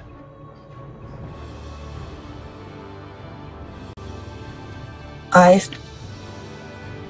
need to tell Tilly, and I will set off down the hill, gathering my gathering my uh, belongings Immediately, or in the morning, or immediately. Immediately. All right. Th- This this cannot wait. All right, so you make your way down to the uh, down to the Reaver Dwarf encampment. It's a few miles away. Uh, you can see the fires glittering in the distance as you approach, and uh, it's probably at this point very late at night, a little past midnight even. Uh, and as you approach, there's a wooden palisade up on a uh, sort of a, an earthwork berm. That uh, defends the village from the landward side. And there's guard towers here and there along the wall, and you can see dwarves, dwarf men and women, uh, some bearded, many braids, lots of uh, gleaming metal armor, uh, crossbows and spears at the ready. You can see many of them uh, as you step into the light of the torches and the, the great braziers that burn to keep them warm uh, and keep the darkness at bay. Uh, they challenge you as you approach, but when you identify yourself and uh, say that you have business with with Tilly, they deliberate amongst themselves for a moment. You can see a few of them giving you just coldly suspicious looks, but it seems that cooler heads prevail and the gate is open for you. You've been here a time or two before, so you know your way around. It's been a while. Uh, a few things have changed, but not enough to, to throw you off your way. And you make your way toward the Tanner's house, where you know Tilly and uh, and her mother live. And you find yourself at their doorstep. You can see uh, the symbol of Thor carved, old, weathered, carved above the uh, in the the door frame. She ta takes her um her old gnarled staff and just and knocks at the door. Tilly, you hear late one night. Uh, you should be asleep. You're leaving in the morning with the tide. Uh, you should be uh, resting and preparing for the voyage ahead, but you're just so damn excited. You haven't been able to put out the fire in your belly and the excitement in your head, and so you're you're in one of those fits between sleep and wake, where you've kind of been bouncing since sundown uh, after making your preparations, and you hear the pounding at the door. Um, Tilly will probably make sure her own mother is still asleep and not awakened by this because she is you know, a little bit older. sleeping like sleeping like the dead. She doesn't notice. Probably snoring a lot because Tilly does too. But um, Tilly creeps to the door and will curiously peep out like a side window or something instead, just just just in case to make sure that it's not anything that could be a threat. Okay. Um, Uh, I'm guessing. Rowan, you want to you want to describe yourself? Because we haven't done really a, a, Hmm. a description for our, our players and listeners. Rowan is a very old raven folk. She must be at least over a hundred, and she has the scar across her her right eye where it's become milky and almost blind, like Wotan himself, is one of the first things that you'll notice about her. Then you'll see that she's dressed like like a Nordic wise woman in blues and greys and very old cloth with bones and trinkets hanging about her, braided into her feathers, and she has molted arms where they're just old and gnarled and wrinkly. But she seems wise and seems, in her own way, kindly. All right, so Tilly, you can uh, answer the door and perhaps describe what Tilly looks like for us. Okay, so at this hour, Tilly is not going to be in her full set of armor, but she does have uh, ironclad set of armor. It's weathered with battle, many scars, many dents, many dings. Um, at this point, she's still going to be wearing just a little bit of her undergarment, not undergarments, but her clothes beneath it, and light, light leather, light armor, light kind of clothes. She has uh, ashy brown hair. Um, she was unable to uh, grow a full beard herself, not disappointed in such, but she ended up um, braiding her own hair down around her face uh, as if it were a beard because one of her favorite things is being able to stroke that long braid whenever she is in thought. Not often she's she's more of a jovial person but um, around the clasp of that at the base of her chin it's a, um, a large metal ring one that's um, different from the um, metals within her own armor but still weathered in itself and forged um, to fit that clasp around her uh, hair. Uh, she is, um, like we were saying, a younger, um, mature but younger dwarf. Uh, she is not um, muscular by any means. She enjoys her ale and her delicious fatty meats as much as she can, and um, in general, just seems rosy cheeked and uh, freckles abound, and um, a, a a welcoming face um, in general. So.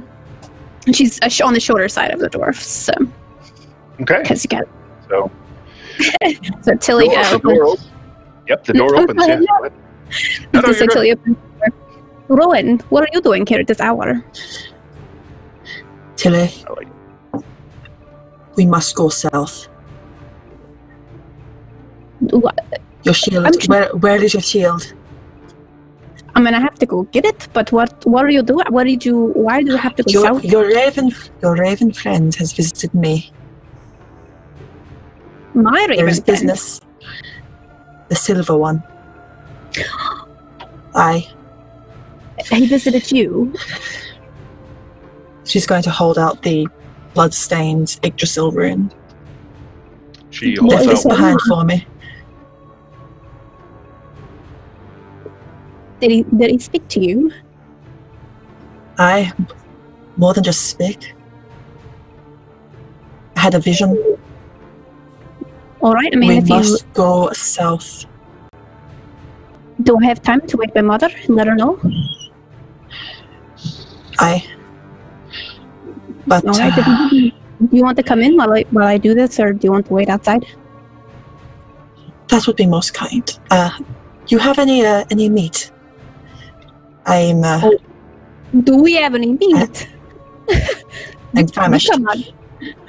You come right inside, and I'll get you some meat. I'll get you some ale, and we'll figure out whatever's going on that you've seen in your vision. But let me let me tell my mother. And you don't need to cook it. I'll I'll eat it raw. You know me. I like the juices. I've noticed. She's just All gonna right, start. She's just gonna start start clattering her uh, her claws and and her beak, sort of at the thought of raw, juicy meat. Tilly will pull back a chair and just pick a big old chunk for her out. Pipatrita, it's going to be a long trek, I'm sure. She'll squawk and start just. This this is this is the most um. The Rowan is normally very composed, but when she's hungry, she will just devour. Very much, very much like the like the corvids, which she resembles. She just kind of tears at the meat and pulls strips off of it and then Yeah. kind of enthusiastically snaps them down her gullet with her Yeah. beak. If you've ever seen seen how baby birds eat, she's just uh, just scoping it all down. Uh, and Tilly will just go and whisper to her mother and tell her that I think I think her mother would potentially know the relationship she had with Rowan, um, and the importance of that relationship to her. All right. So uh, you share some food, maybe some beer. Uh, probably that accounts for why your mother is so deep in sleep and snoring. You are likely sharing a drink before you left the next day. Uh, one of your own brew, I'm certain. I, I doubt she'll even remember. and uh, and so we'll move on toward dawn. And as dawn approaches, you take the little snatches of sleep you managed. Uh, Rowan, did you want to tell her about your your premonition in more detail uh, over the Yes. course of the night, or are you going to save those? Uh, she'll definitely tell her over the course of the night, and uh, when she's when she tells stories, she tends to, whether knowingly or not, develop her her grandmother's voice, Oh, cool. the one who told her all the stories, and so is telling her telling Tilly about the vision about the silver raven with the scarred eye and the blood that was everywhere and permeating through through the floors and the cracks in the woods and on the stone, and how it seemed to stain her own runes, and about the the very serious warning that we needed to head south Tilly to will end ask her. the bloodline. Um, it's it's pretty ominous. Have you ever had a vision like this before?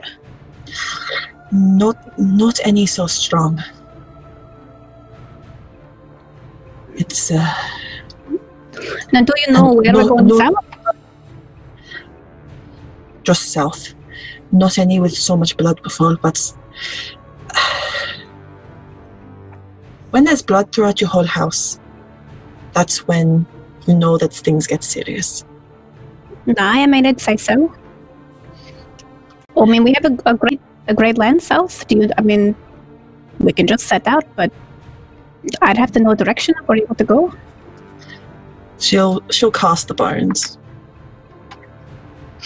So you uh, you cast the bones. You turn your thoughts toward the Rune Father to give you guidance, and you get sort of uh, just kind of a vague, uh, a vague impression of accompanying south.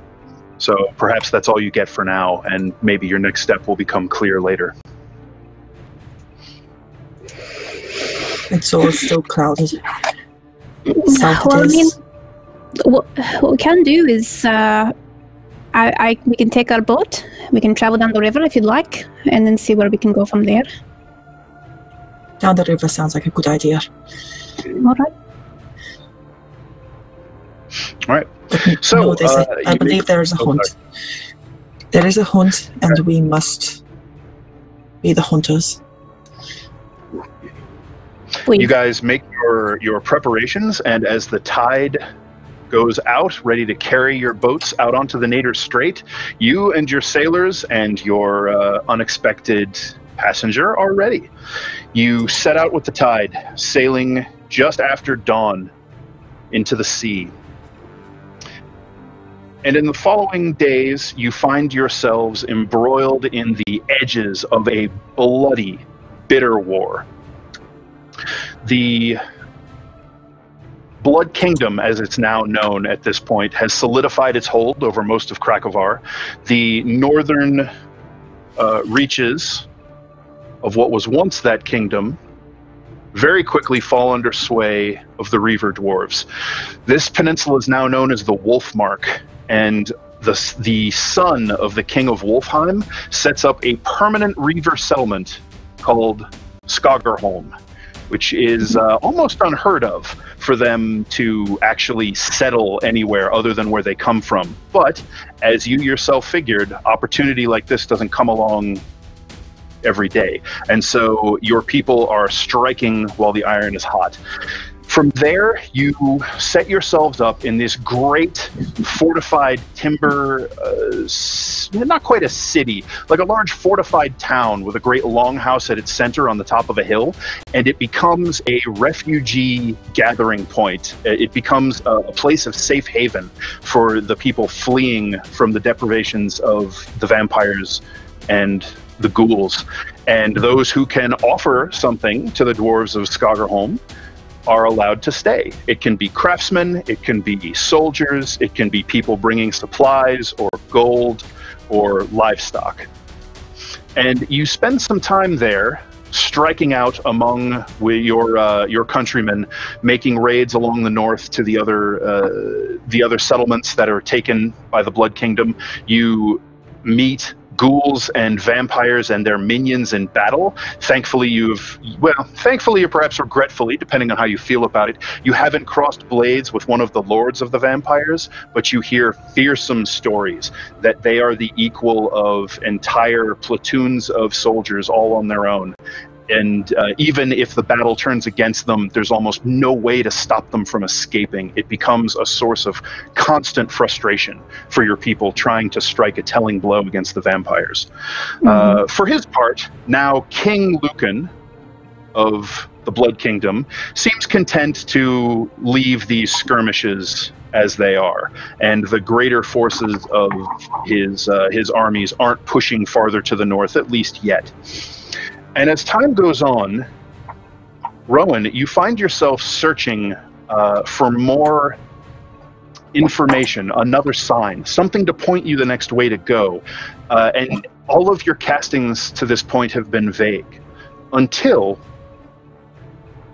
on one of the one of the close range raids that you've decided to accompany uh, Tilly and her people on to provide uh, divine support, uh, if not to engage in battle yourself, depending on how uh, how warlike you're feeling uh, at any particular time. I leave that up to you to decide. But during the aftermath of one of these battles, Tilly, you and your people, with a flash of insight given to you by your friend Rowan, managed to catch a vampire. Not one of the lords, but a spawn. A lower ranking vampire of full blood, not a Dhampir, not one of the half breeds. even though they can be noble and uh, well respected and terrible warriors in their own right. You catch yourselves an actual vampire lieutenant.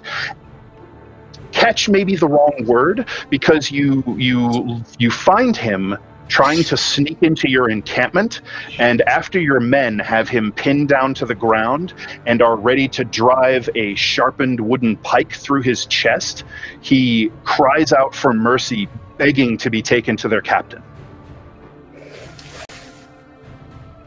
Okay. We'll bring him then. Okay, so No? you, you you call a halt to it, and they stop in the very act of beginning to stake this poor bastard. His uh, his eyes are wild; they're rimmed with red. His hair is this dirty blonde, uh, sort of a close crop, and you can see that it's matted with uh, mud and blood, and possibly worse.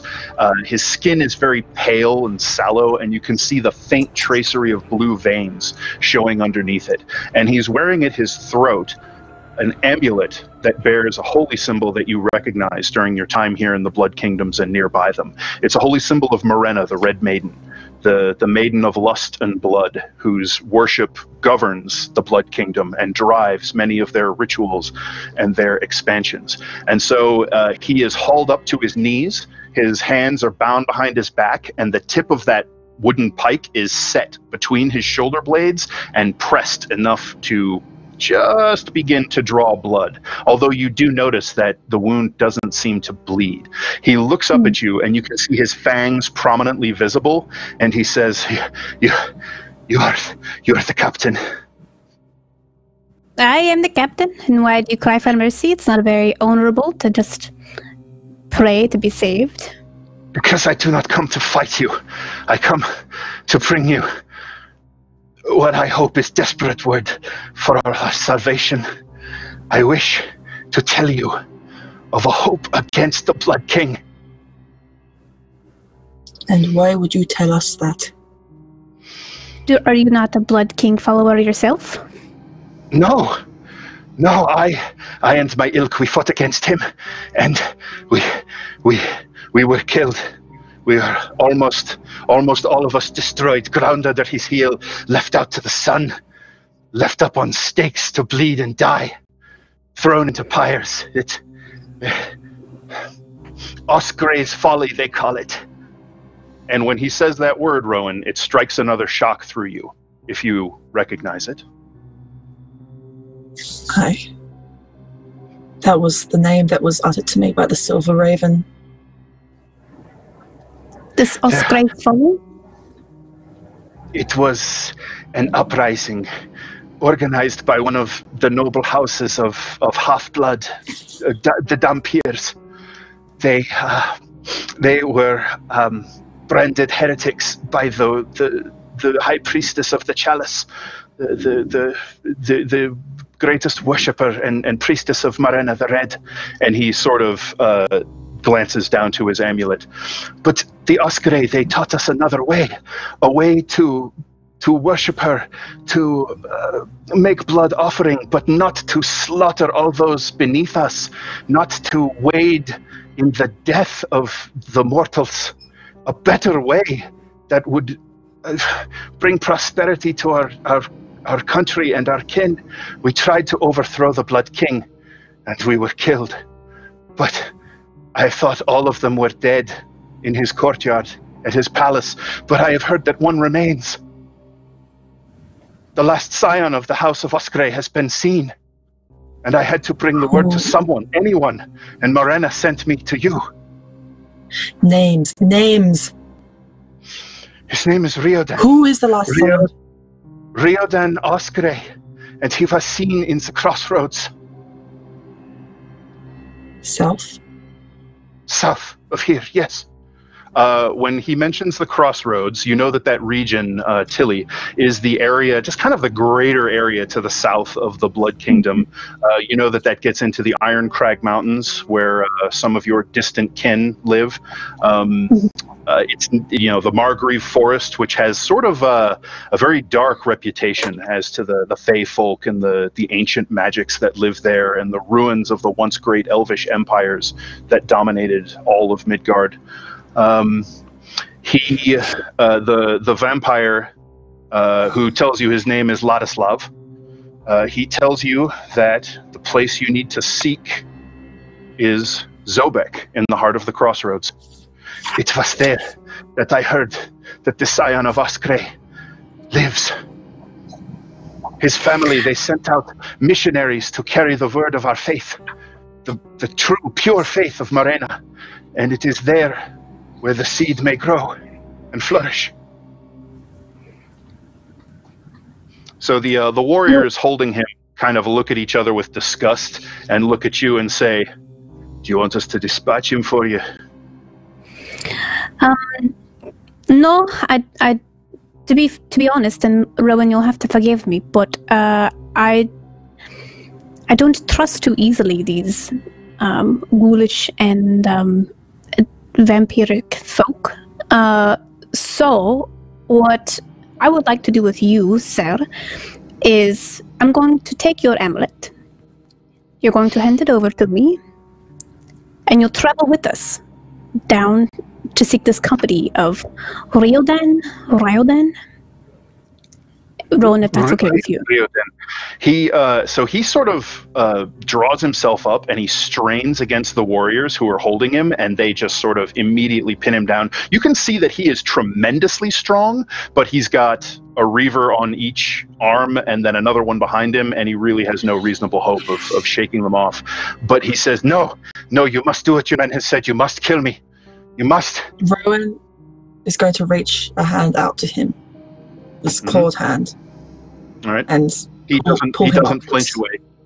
He. Uh, you're gonna pull him up to standing, yes, or just kind And of lift his chin.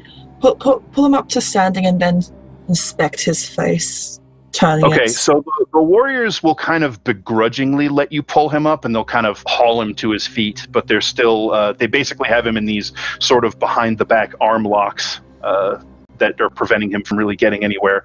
Uh, as you sort of hold your claws under his chin and you you lean forward, you can smell his breath is just foul. It has this stink of uh, faint rot, and you can see that there's this now blackened old blood between his teeth.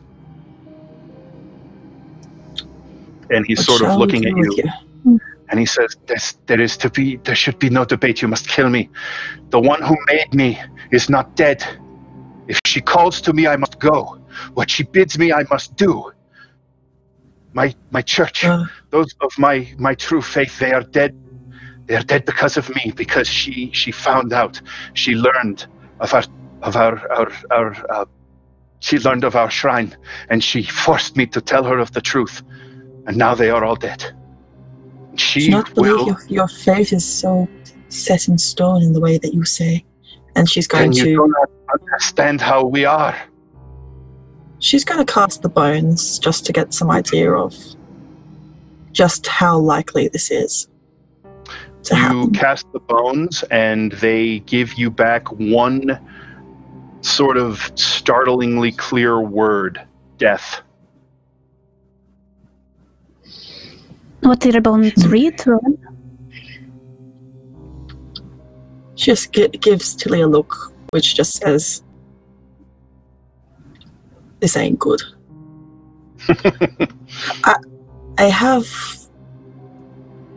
something that might. Can you be discharged?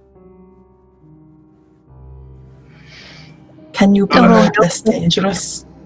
There's, I would uh, prefer not leaving somebody like this behind, just to temper, just in case he's playing a trick on us. I don't know. No, you, you, do, you do not understand. She, her, my blood is her blood. If she calls to me, I must go. I can Oh, no. feel her even now. Oh no, I I know that full well. I'm no fool, vampire. She's going to. Oh, that's a that's a good cat. She's going. She's going to look look at at the vanguard and just and give them an order. Defang him.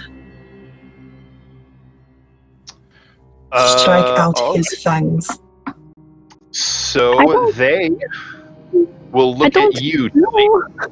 Mm, I think it's a little bit cruel, don't you think? I mean, I'd, I'd rather I- I'd rather give him an honorable death than torture him. That's not really of that's not really So- of my Before Or, or as the reavers as the reavers kind of look between you two there's a moment of distraction and he seizes it. Ladislav throws one of his arms free grabs the the back the nape of the neck and just buries his claws and fist into the hair and drives his fangs into the throat of one of the reavers. You can hear the flesh tear and you can see the hot blood spurt into the air and uh, steam rises from it in the cold in the cold night.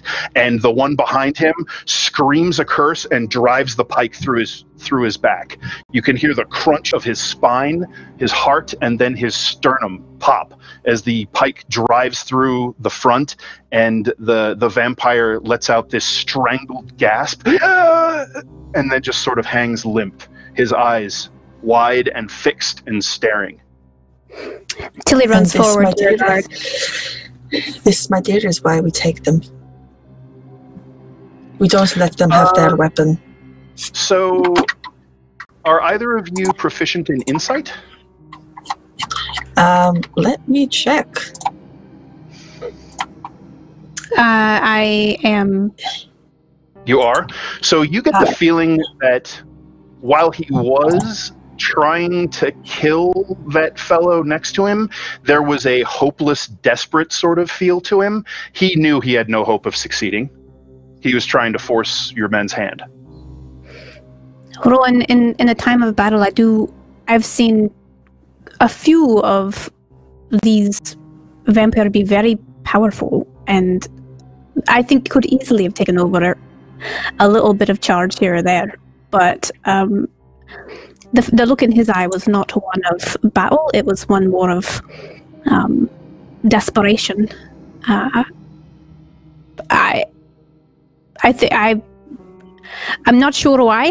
I mean, I under I understand his fear of his own uh, maiden, but I don't. I've never seen this out of this people before. I- I think we should take the amulet and go.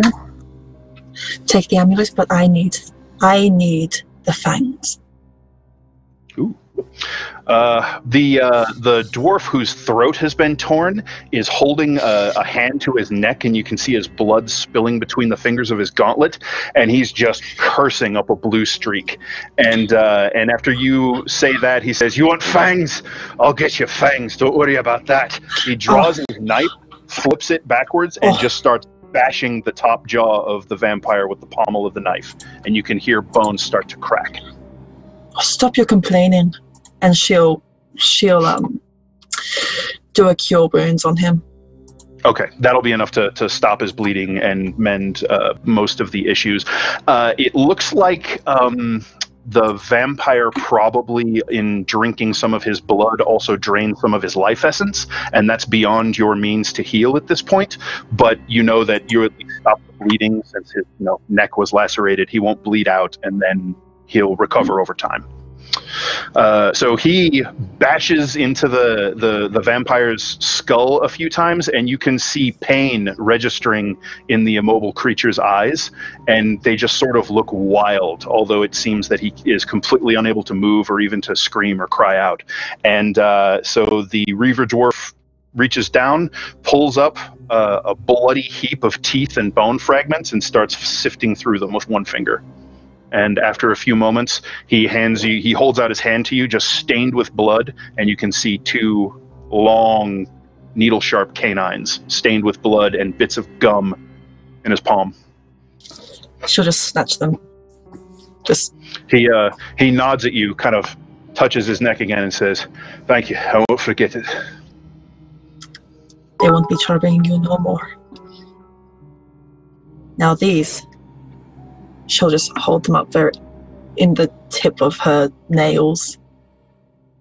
They might be able to help us find this scion.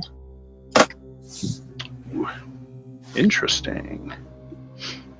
I don't understand your magic, magic ways, but whatever you say, Rowan. Oh no, I, I don't understand them half the time either. But there are tales that my grandmother taught me. And who am I to question the old crone? Tilly will call their dro- um, guards over to help up the wounded one and be like, let's get on the road. All right. So you're going to make whatever necessary orders for your men to, to continue doing everything that they need to be doing, and you're going to set out. So you you consult your maps and charts, and you're you're quite proficient and adept at navigation. So you're very easily able to chart out that the best way for you to go is going to be to take to the river. You know that uh, not only is that going to be the fastest way for you to get to Zobeck, the, the city in the center of the crossroads, but it's also going to protect you from vampires because they don't seem to be comfortable on the water. Um, anytime vampires are on ships, it's very rare. And uh, they don't seem to be interested in any sort of shipboard engagements they flee from it at the first opportunity. All right. Um, and I, will say even that you have, uh, the, in the course of the time that you've been fighting here in Krakovar, you've come to realize that uh, running water, such as in a river, uh, is death to a vampire. All right, it's our, our best means of travel, uh, Rowan. I'm I'm kind of following you blindly on this, but um, I guess we'll find this Uri, Uriodan, Uriodan, Riodan. Well, now we know where to go south to Zobeck. Zobeck, all right. All right. So, do you leave any further orders uh, to deal with Ladislav, or do you just let the soldiers take care of it? I mean, I think, I think we should burn him. He was, he was beyond recovery, as far as I can see.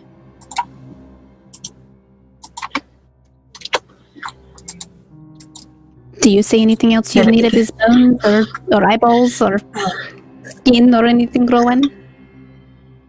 I think I have all I need. All right, and she'll order her guards to burn him. All But the right, bones so they set death. about. They immediately take their uh, battle axes and immediately set to gathering wood. Are you going to stick around for that? Because it's going to take them a while to build a pyre and all that business, or do you just want to leave them to it and then go? I trust him enough, I think, especially after they've seen what he's done to somebody or another guard.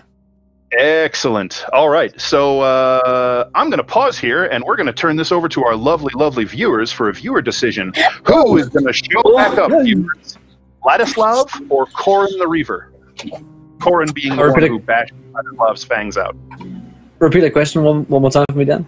Who, who are we going to see again? Ladislav the vampire spawn or Korran the Reaver? Ooh. Ooh, that's Nice. a good one. I like them both. Do I spell Uh, Corazon? I Do I spell Corazon? Co- Korran, K O R R A N. A N. Beautiful. Interesting. I think his Well, name should be Vlad the? Impaled. Vlad the Impaled is his new nickname. Vlad the Impaled, yeah. My my friend uh, he had a Fox he had an Impala and his and his uh, his Impala was called Vlad the Impala. Um,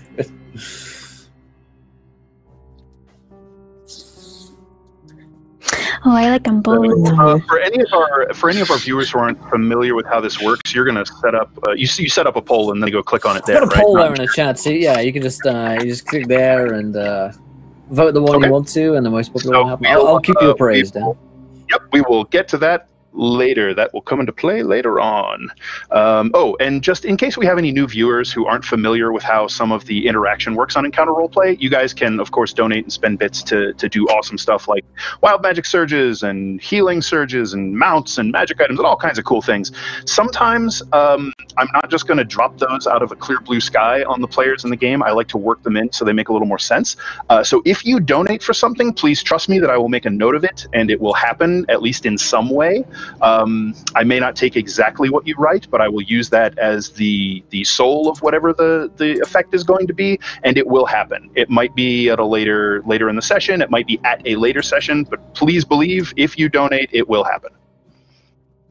Because we've had a few donations, and some of those might be a little difficult for me to seamlessly work in tonight, but it will uh, it will be a thing for the future for sure. Uh, all right, so uh, you head your way south with some supplies, and uh, you take a um, basically, you take a small keelboat, so the two of you can crew it uh, easily enough. It has oars if you want to row. It also has a small triangular sail that you can use to catch the wind. And uh, and since you're going to be moving mostly against the current of this particular river, that will help you. So you don't have to row the entire way. That would uh, that would suck. Uh, but you make your way south. you make your way south toward the uh, toward the city of Zob, the free city. So why don't we flash back to our uh, to our Zobeckian heroes? Nobody from Zobeck calls it that, by the way. That's only what I. People from Zobeck say Zobecker. Uh, so Glaz, you are you are inducted into the Collegium and you are accepted as an apprentice. Have great knowledge and aptitude with leyline magic, which the Collegium is currently lacking. And so there is great interest in the limits of your magical power and what you're able to bring to bear.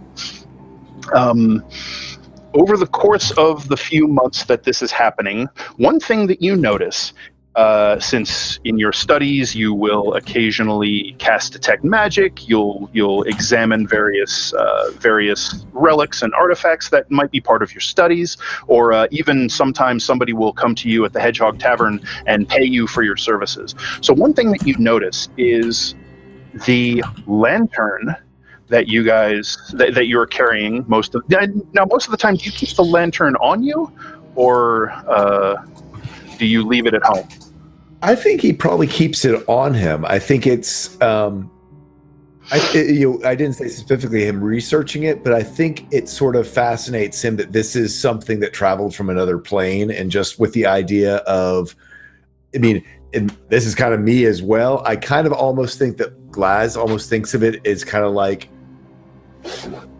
almost like a ley node. You know, it's like this little okay you know, mm. I think he, you know, he, how he's processing it in his brain is that this is almost like a piece of this what he feels with the ley lines, but it's like an actual instead of it being a part of the earth and a part of the environment, that it's this.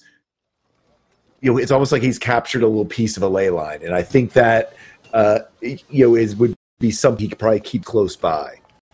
Okay, uh, so one time when you're examining some bauble or another for uh, one of your colleagues, or at least someone who heard of you and, and offered you a few coins for your, your magic and your trouble, you realize that the lantern is radiating magic.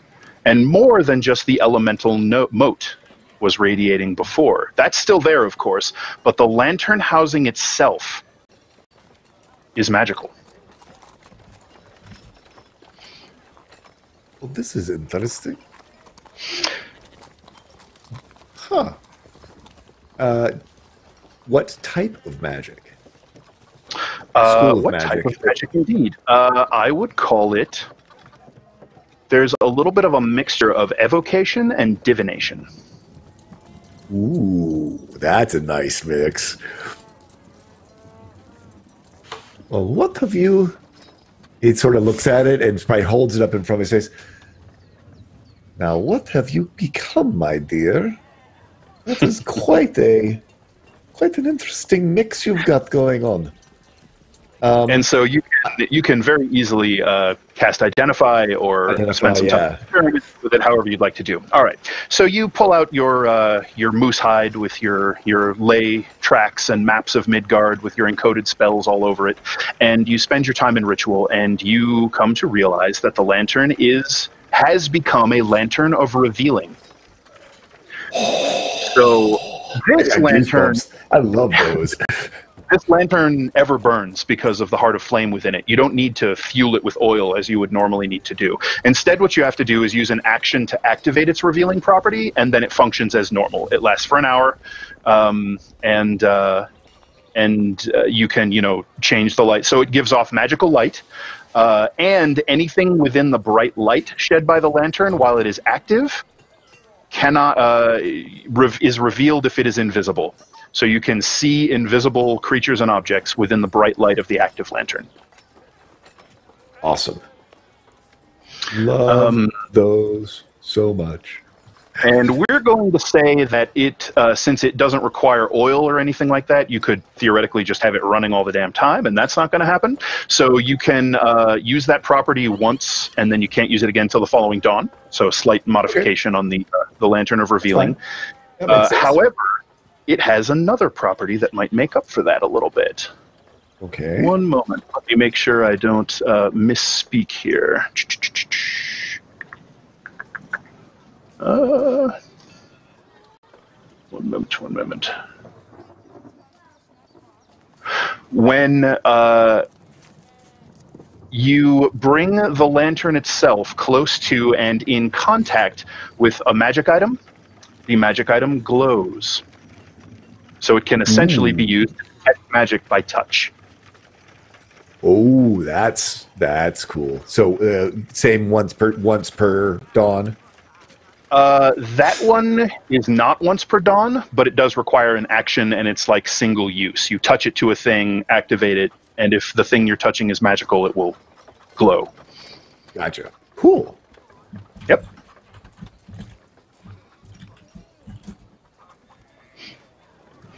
All right. Uh, so you spend your time uh, scribing your new spells that you have decoded from the Journal of Werner Stross. Uh, so you can spend your gold and uh, do whichever ones you had the, the resources for there. Uh, you also puzzle something new out of the journal. You puzzle out a magic item formula.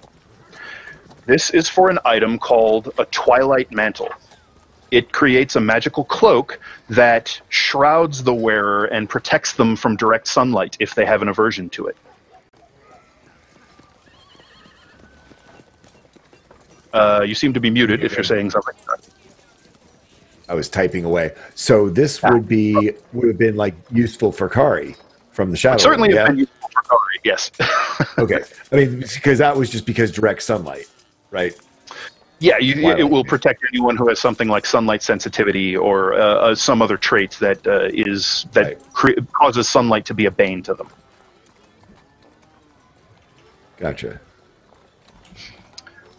Uh, and you wanted to see about having your dagger enchanted, right? I did.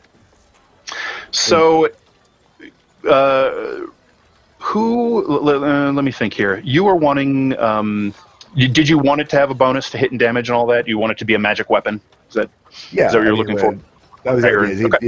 you get it to a plus one, or because it's a flame dragon tooth, or if there was something more fun and exciting, and that doesn't, you know, if that it, you know, plus one is great, but I'd always, you always Because such great of flavor. Sure. Uh, because of the great esteem that you folks have been gathering, and you in particular bringing artifacts like uh, the Heart of Flame for the Collegium to study, uh, the, the knowledge that you have brought with what was happening with the ley line, uh, all of that, they're actually willing to do something they normally would not and uh, see to the enchantment of your flame dragon fang dagger. Uh, and so it will indeed be enchanted over the course of those few months. It will have a plus one bonus to hit and to damage, but it will also. Uh, what was the uh, the dragon fang dagger's effect? It did extra damage to It did cult of the extra dragon. damage on the um, from the dragon queen from the uh, Uh, dragon much? cult. How much Uh, damage was it? Or Stand by one second. I had it pulled up. Uh, I've got it here in the manage equipment.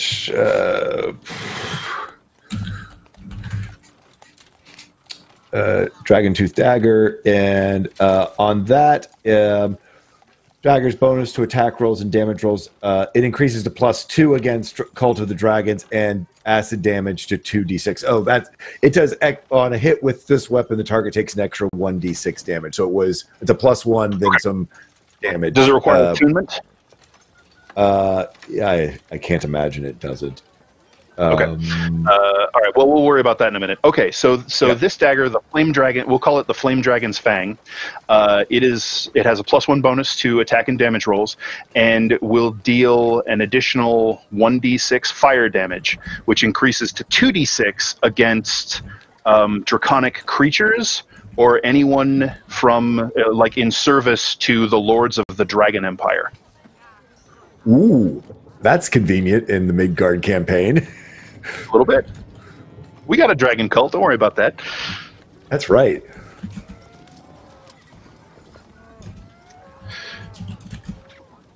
All right. So while that's going on, Cloak, you said that you were looking to train Puff Puff to make sure that she was a little more reliable, able to stay safe in combat in intense situations. Is that is is that correct? Uh, yeah. So he, he was training her to, you know, uh, to be uh, tougher and and all that kind of stuff. Um, I would also like to add that whole lamp scenario in my head. This is how it went down.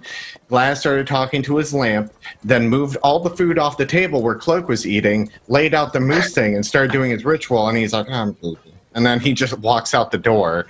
Uh, Fair enough. um, so uh, yeah, he would go to uh, Paula's. Um, that, that's where he would stop by in the morning to go talk to her uh, on his kind of like daily routine. Okay. Sure. Uh, what were you? You were looking for uh, some some some something to do with your saber, I believe. That uh, Yeah, with Paula. Yes. enchanting so- my saber or Speaking speaking to Paula about enchanting your saber, um, you're just basically looking for for a magic weapon, right? Is you're not? Do you have any particular enchantment in mind you were looking for? You're just looking for a way to get magic on that blade, right? yeah, something to give a little bit more damage. Okay. Uh, Whether so like I think I think with his study of fire so much, something maybe like a fire additional fire property or something Okay. along those lines. But um, since it's like study into the planar realms and uh, mainly the fire realm because that's the most one he had interaction with so far. Okay. Um, so she will uh, look into that. She will be uh, a little reluctant at first, or not, not reluctant, I'm sorry. Um, she will not be optimistic uh, when you first bring the uh, the request to her. However, after some time studying and talking to you over what she's looking for, she says, in her just sort of resonant uh, dwarvish tones, she says, "Ah, "I think there might be something I can do." Uh, and you can tell that there's a butt coming because of just the dark cast on her features. But I think it's also going to require the heart of flame, and I think we'll have to return to my family seat to make it happen. What you're asking is no small feat. I mean, are you up to it? I, I think I think so. Yes, but I can't do that on my own. I'm not. I'm not. Uh, I'm not a wizard. I suppose what it boils down to. I mean, I'm sure Glaz would love to go back there. I'm, I'm sure it's all cleared out too. Still, Well, we can hope. Of course, we'll have to travel through the Margreve again, and she does not look excited about that prospect. do we have to? If you know any other way to get to the, the halls of Everforge, I'm all ears. Which, as you recall, is about a day's travel into the Margreve. Yeah. Um, do we have to bring, bring an offering, if I remember, to the Margreve? Uh, well, it can certainly help. Um, as you recall, or you've you've spent some time studying. We'll, we'll call this part of your part of your library studies during the downtime. Uh, bringing an offering to the Margreve most certainly helps. Uh, every everything you can read, everything you can learn, every story you can pick up about the Margreve is people talk about it as if it's alive somehow. In, in some strange way. Um, and if the Margreve doesn't like you, you are well advised to stay the hell away from there. Um, you think based on the relative ease of your journey through the Margreve uh, when you were leaving the halls of Everforge, for instance, you think the Margreve, for some reason, is is relatively well disposed towards you. You're not exactly Okay. sure why. That makes me nervous. Um, so, uh, um, I uh, I'd be like, yeah, I think it Glaz, and I can see if I can sober up Riordan, but I wouldn't count on it. But I'm sure So me and Glaz that's- would love to go. Sure. So that's going to be a bit of an undertaking. That's not really something we can get done during the downtime. So when you guys mm-hmm. want to plan an expedition into the Margreve to, to take your blade and the Heart of Flame back to the, the halls of Everforge, Paula thinks she can she can make something happen there. okay. So uh, let's talk about the the training you're doing with Puff Puff. So is that just uh, is there any Mhm. particular um, goal you have in mind there, like any particular mechanical benefit you're looking for, or just this is what you're up to and whatever it does, it does? I, it, it's more like leveling her up. Um, Sure. Because I don't, I because I don't know because it's not really like an animal companion. It's a you know, um, It's uh, it is, she's an and it isn't. she's an NPC ally, is what she is. Yeah. Uh, Um, okay. So it would just. No, go ahead. Go ahead. All right. Uh, so I will say, over the course of the time, as you're training her, if you guys, rem- if you remember, you're even more sure of it now. Do you speak uh, Sylvan? You do speak Sylvan, don't you? Yeah. She I do. understands Sylvan fluently. She gets the gist of Common, but when you speak to her in Sylvan, it's like you're conversing with another person. She can't talk back. She seems to lack whatever whatever facility you would need to, to form speech, but she understands you perfectly. Once you realize that, you sort of conduct your training in um, in Sylvan with her, and it's like training a person. So Mhm. I think I might do something silly and let Puff Puff the Blink Dog take a level of Ranger. Ranger puppy, da, da, da, da, da, Ranger puppy. If that sounds Um, uh, like a reasonable sort of thing you're talking about. This is the Uh, best would- timeline. I would, uh, uh, I would also train her by uh, Kane's grave, uh, just to kind of, because he he was my ranger buddy, uh, and also he was an asshole. Um, so, uh, but kind of like, and like as like you know done training, like kind of give him uh, an update of what's going on, like talking to his grave. And I was like, I know you're not there because you're a dick, but. Yeah, the devils have his ass. No, no, no, no. Kane was great. Uh, all right, uh, so that that is one thing that we will handle. All right, so you are also doing uh, study on the Shadow Realm, uh, sorry, the Shadow Roads, um, planar research in general, as well as the Dragon. Um, Mhm. I think you guys had managed to find some information on the Dragon that it was Oh. involved with some certain merchants, if you recall. Yeah. Uh, I, think- wait, hold on. No, I we have a it. note. Uh, hold on. Yeah. Uh, Ig, Igbalnium, the merchant. Ig- Igbalium was the dragon. Oh, Yeah, okay. Well, I The dragon. in my study because how I took the note down is that I thought it was the merchant because we didn't know at that time. So now it's official. Okay. Right. So you you learned that uh, there was a dragonborn merchant named of Savaran Delmarev. Uh, I Oh yeah, that's okay. That's the merchant. Right. So uh, there really isn't much more to discover about this dragon, uh, at least not in Zobeck's libraries. Uh, it was obscure at best, and it was kind of a stroke of luck that they had this little bit even anyway. Uh, so you have about the Mhm. best link you can do to that. Um, since you've been studying with Glaz, and probably you've been doing most of the studying of his notes on the, the various ley lines, but there is material in the library on it as well. So you uh, you have a reasonable understanding of the functioning of ley lines and the way shadow roads work in particular, uh, and so that will come into play if you have you know questions about lore on how to uh, activate or access a particular shadow road because you know they're not just always open. You need some way to open the way to the road. Uh, and that is never uh, never something done lightly. There's usually some manner of sacrifice and ritual involved, and it's not a guarantee. There's a there's a degree of danger in in undertaking these rituals. But you also learn about a particular relic or artifact, not not capital A artifact, but uh, a magical item from times long gone by called a key of Velis. And it is said that the possessor of a key of Velis has full access to any shadow road they come across and can even change its destination temporarily. Mm. Yeah, pretty awesome. I've heard about them myself. Pretty good. I wonder, I wonder if that's one good. guy used. Cult leader? Uh, the, the guy who had like rotten teeth and he said void shit all the time. Um, maybe he had one of those.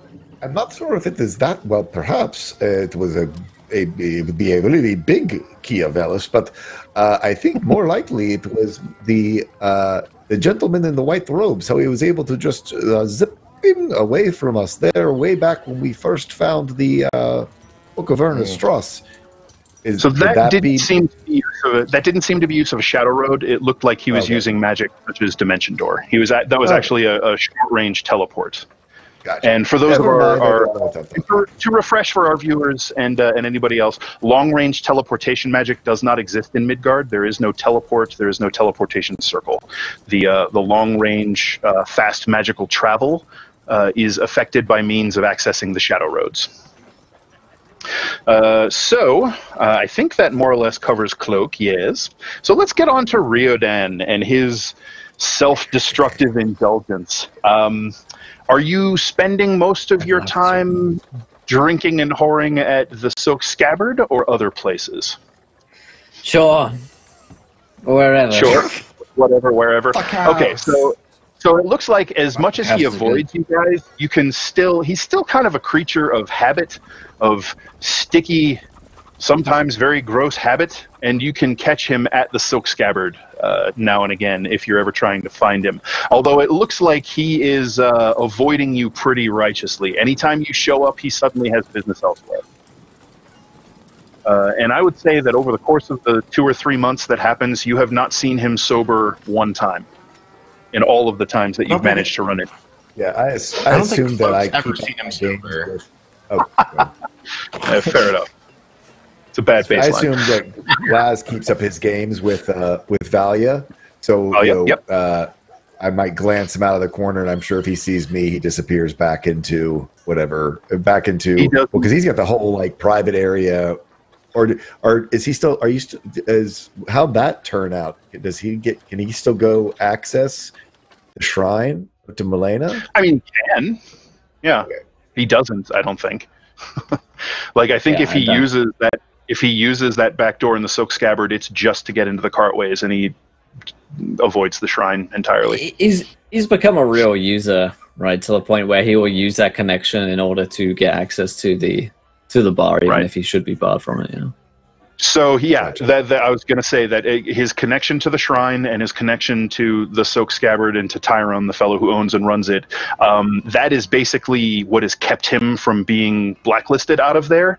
And he can still occasionally manage some companionship, although the the companions at the the Silk Scabbard have started to avoid him as well because they can see that his life is in a tailspin, and believe it or not, most of them care and uh, they don't want to contribute to that. Uh, and so, anytime you're playing with Valia and and uh, Riordan comes through, there's this sort of pall that that falls over the bar, and she gives you this sort of heartfelt look of sympathy. She never really says anything. Uh, if it seems like you don't want to talk about it, if you do, she will listen gladly, but uh, she doesn't push. Uh, I, I've got just a curiosity question because Will, you were talking about how you basically quick just uh, did you sell your armor? It's the last. It's the next thing to go. Yeah, the next thing to go is the armor. Um, okay, so he hasn't that yet. He doesn't What wear it whip? anymore. Um, I was going to oh, say, the whip. you sell Whip is gone. the, sang- Yeah, the scourge? You sold the scourge. for sure, it's gone. Like it, he pawned it Wow, off. the, the dagger, the, the the blade, the ritual, the ritual knife, Dagger's gone.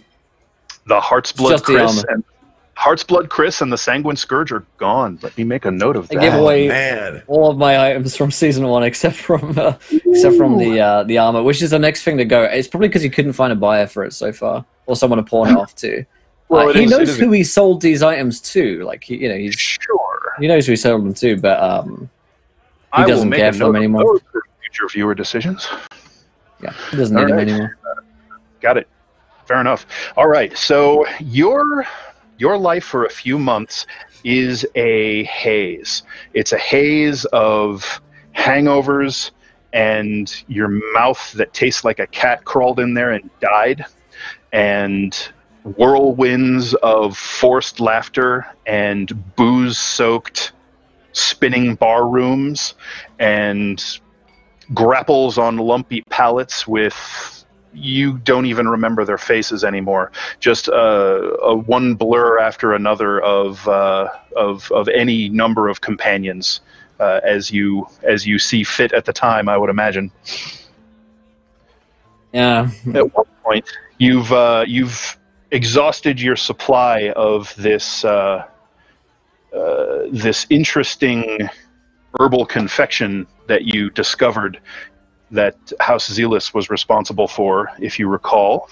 Uh, I believe it's called. Where is it? A Cory Blossom. Oh yeah. Yep. A, the Akori Blossom. It's a, it's a hallucinogen. Um, it probably has some use in making of magic, but you don't really care anymore. Uh, so you've exhausted that supply, and getting more has become damnably difficult for some reason. So uh, at one point, you find yourself turning toward that little wax paper packet of Requiem, and I believe you said you were going to do it. So still still on board for that? Oh yeah. All right. So you tamp it down into a little pipe. You ignite it with uh, with a, a sputtering old candle in your room wherever you are. Are you going to be in the scabbard in your room at this point, or some other dive? It's wherever I am. You tell you me. know. Yeah. Where am I? Uh, it's in the room. It's in it's in the scabbard. Scabbard. Mm. Okay. So. So immediately, uh, the hallucinogens be, the, you take a, a lung full of this acrid, sort of thick smoke, and it looks sort of like cigarette smoke. It's wispy, it's kind of filmy, it's white. But as it burns, you would swear that you could see as the, the smoke curls up and dances and eddies in the air, you can almost see faces looking at you in uh, in this this strange smoke, uh, and the smell is almost incense-like, and it kind of fills your room very quickly.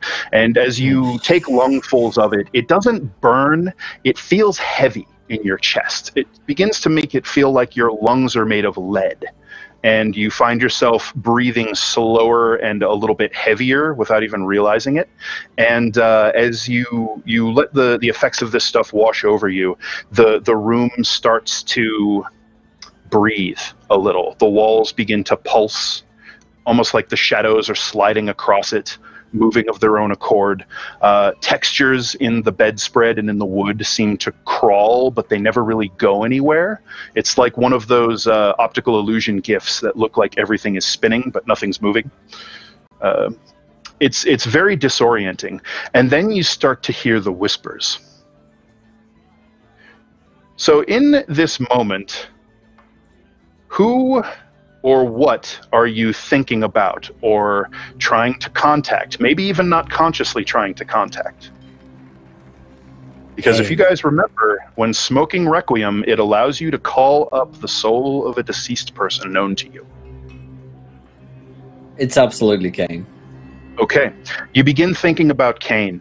You turn your now sort of fuzzy, clouded, smoke shrouded thoughts to him, and uh, your breathing becomes slower and deeper as you uh, as you breathe in the last of this this burning stuff in your pipe. The feeling of Kane, your friend, your family member, distant though he was, uh, sort of settles over you like uh, like a cloak made of iron, and you try your best to call up every detail of him that you can. And damn it, but you you realize that you're having trouble sort of reconstructing his face. It's only been a few months. How could those details have slipped your mind already? What, what color were his eyes exactly? Did he have crow's feet? What about his hair? Had he gone to Salt and Pepper yet at the at the temples? Dhampir, Dhampir sometimes never do. And as you reach out, there is this just terrible feeling of emptiness as you reach out for Kane's soul through this requiem. There's just nothing there. Nothing comes. There's no apparition, no feeling of contact like you were supposed to have. Nothing.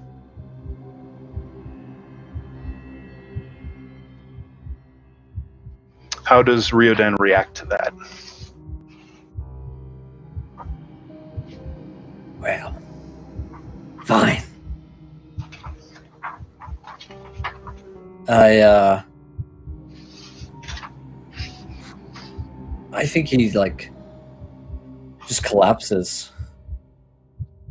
You know, Just kind of- let, just lets unconsciousness take him. You know, he is nothing. There's there's no sort of mental wherewithal to even like have the lights on anymore.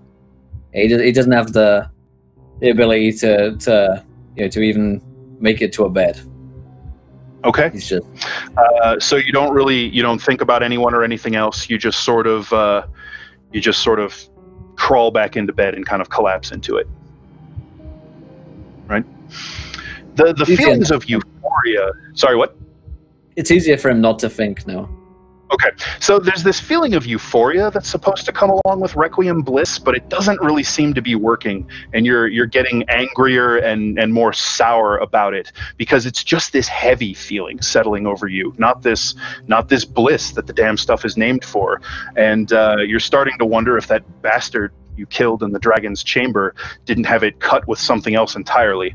But uh, as you sort of drift off insensate uh, on your bed, letting this the last of the smoke fill the room, uh, I would like you to. What's a question that's on your mind? What is something you want to know?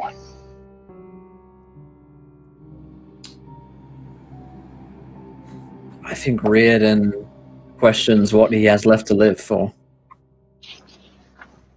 Hmm. Interesting. So old. All right. So you're you're you're thinking that that you know what is what, what does it all mean anymore? What what do I even bother doing with myself? Is it worth it? Should I even try? And you are settling down, and you can almost feel your body melting into the soft, comfortable covers of your bed, and your eyes drift closed, and then you hear a chattering voice at your ear, and it sounds like maybe an animal but you discern some kind of strange meaning in it. And it's asking you almost in a dozen languages at once who are you?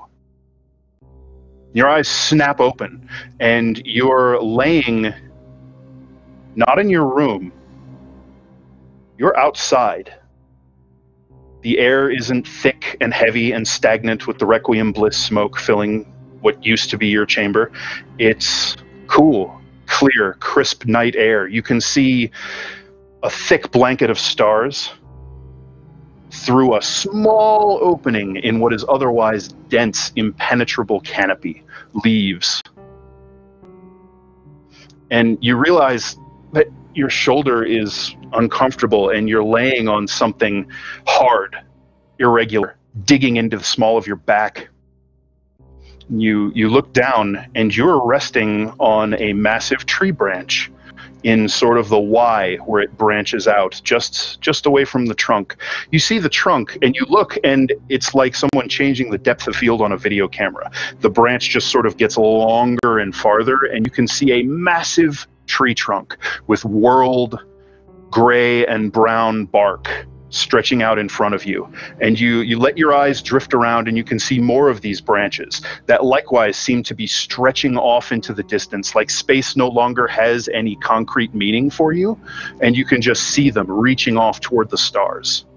You look down and it's just branches and tree trunk all the way down that you can see. You look up same You look over to your right, where you heard the chittering, and there is a curious little creature sitting there staring at you. It's canted its head to the side. It has sort of reddish brown fur, and it looks at first glance like a squirrel. A little bigger than a standard squirrel you might expect to see, uh, and it has tusks. These great yellowish ivory teeth that kind of poke down from beyond its lips. And you also notice it's wearing an iron and silver torque around its neck with whorls and knotwork and uh, these strange, stylized, almost Celtic looking uh, tree branch images carved, etched into it. What the fuck are you? This is what you see.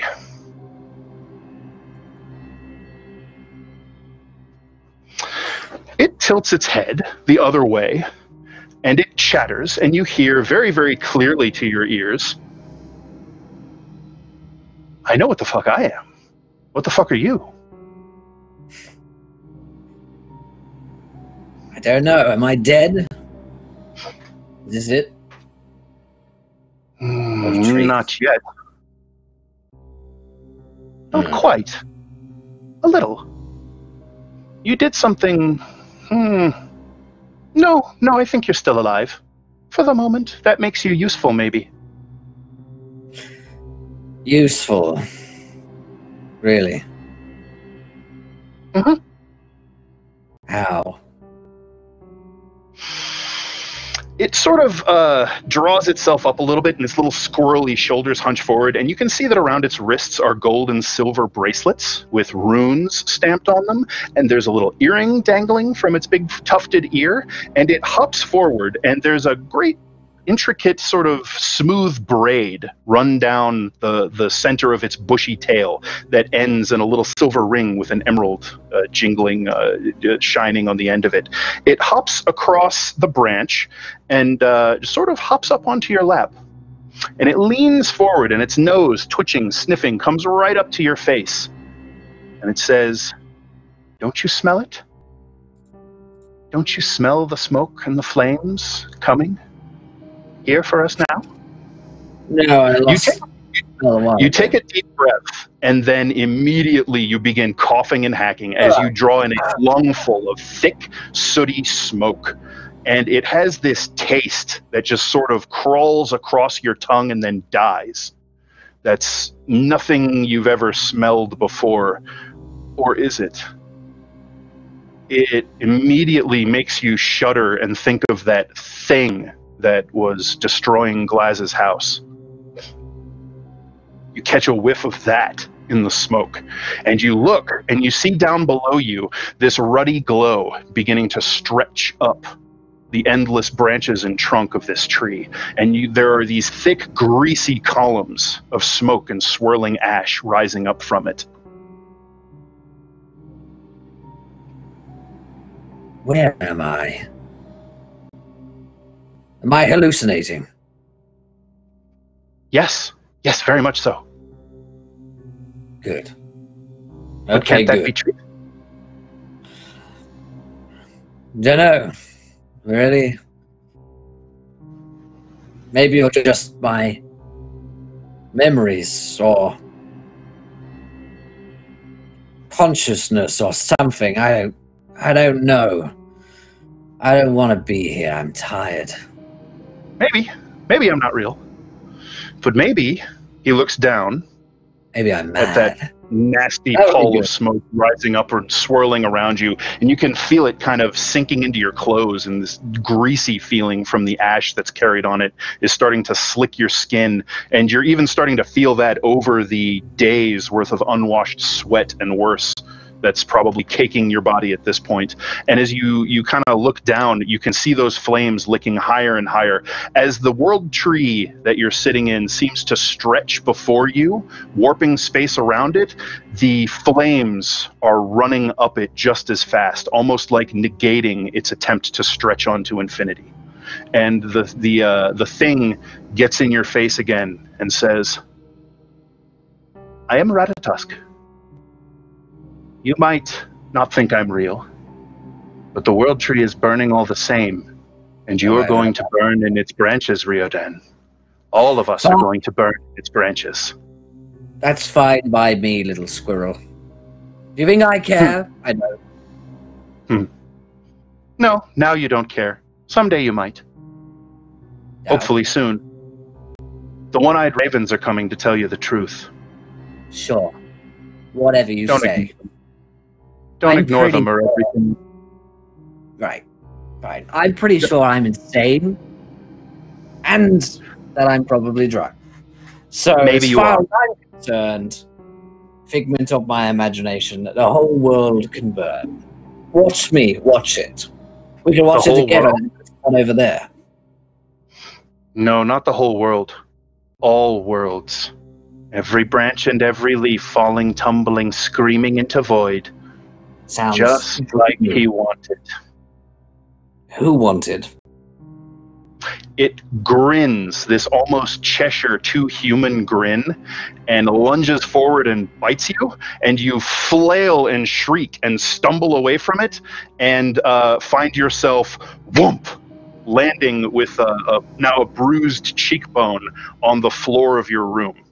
And it looks like the candle on your uh, side table there has been knocked over, caught something on fire, and burnt a little bit and filled your room with smoke. Uh, So you wake up coughing and spluttering, and now with a headache starting up and a, a big nasty bruise on your cheekbone. fucking dreams. I, I, I, I get up and I call out the room. Waiter! Waiter, there's a fire in my room again!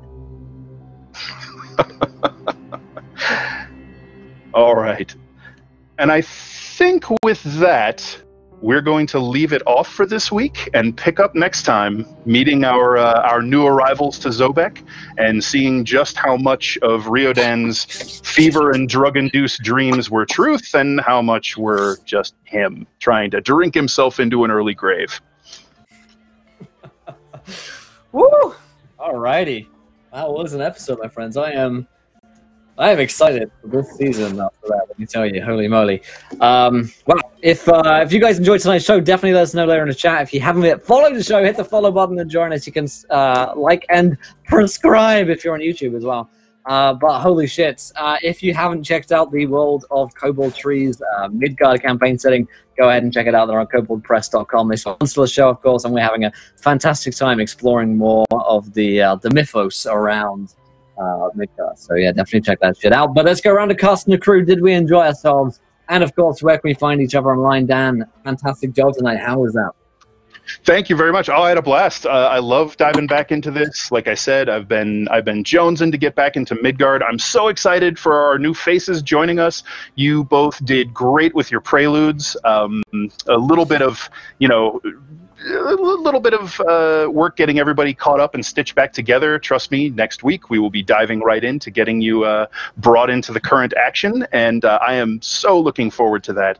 Uh, you can find me on Twitter at Dan underscore Dillon underscore one. I love to talk D and D, so hit me up there anytime.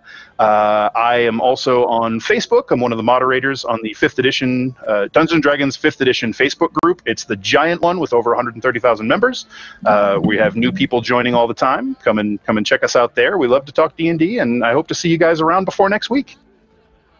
Thanks so much, Dan. And uh, Tall Squall, how's that? Well, you saw me having my mind blown about, I don't know, about every 15 minutes because of all the coolness that Dan is weaving into this.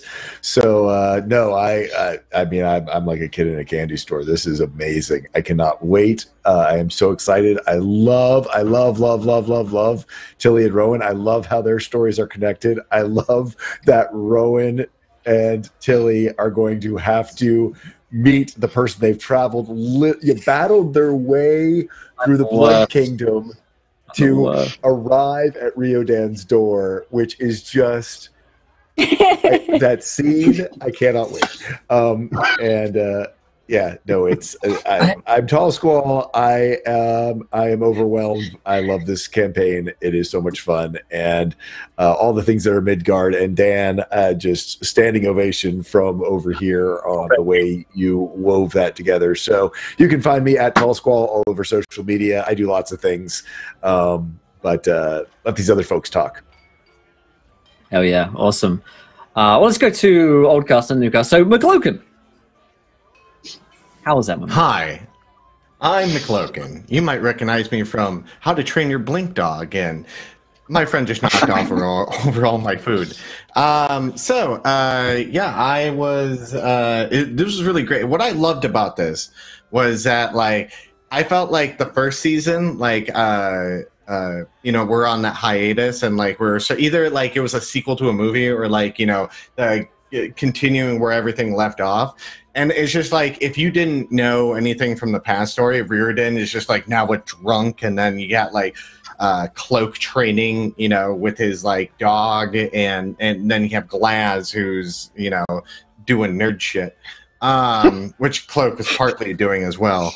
Um, and then then I loved uh, listening to the backstories and like uh, uh, uh, everyone knew and how they're going to get introduced. And I I also agree with uh, Tall Squall on uh, the fact that I I want to give that description of where he is at. Like if if they run into Glaz and Cloak first, and they're like, "We're looking for Riordan," uh, you know, and uh, or he's at the fuck house. uh, and then everyone's gonna be like,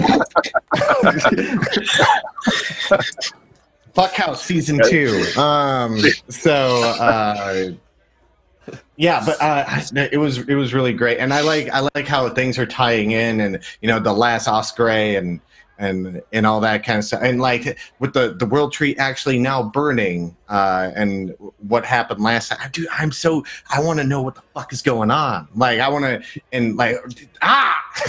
Okay, that's me. Uh, you guys That's can catch me. for, Uh. I, uh, I'm a, uh, I do a D&D show on Wednesdays at uh, mixer.com slash storyquest. Uh, I, uh, I run that weekly. Um, that's a fantastic uh, homebrew campaign I made out of my head. Uh, another show I like to shout out is uh, The King's Hustle, which is here on Thursday nights.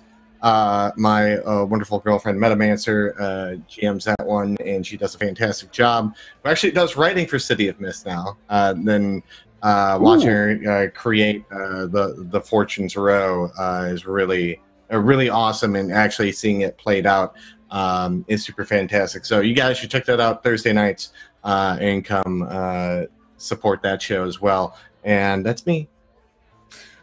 Yeah, just to add to your point, it's totally the uh, the, the two towers, right? To the Fellowship of season one, Fellowship of Ring, get everything set up, two towers, shit goes fucking crazy, and everything but. So uh, yeah, I'm I'm fucking hyped for it. Uh, and of course, with some fantastic new characters, loved the backstories as always. Uh, uh, it was a treat getting to uh, to see more of those. So uh, let's go to Scarlet Moth. How was that tonight? Oh, my mind has just been absolutely blown away by this. I, just that storytelling. I'm loving it, and I, I'm very interested to see uh, what it's going to be like when uh, Tilly and Rowan find their prey and then realize, oh, it's a drugged up, sexed up Me too. vampire. The worst. Uh, I definitely didn't expect Rowan to turn out quite the way she did. I was expecting a, but a neutral, wise woman bird, but not. I wasn't expecting her to be metal as fuck. I love it. love it. So where can people find you? Uh, so you can find me on. I'm mainly on Twitter at that Scarlet Moth. Um, I'm also on Facebook and a bunch of the other social medias. You can look up Scarlet Moth and you'll find me. Uh, I do lots of art, cosplay, and D and D related things. Uh, every uh, trying to time zones. Um, Sunday morn, Monday morning. I think it's uh, Monday night my time, Australian time. That's yeah, Uh, Monday I morning our will time.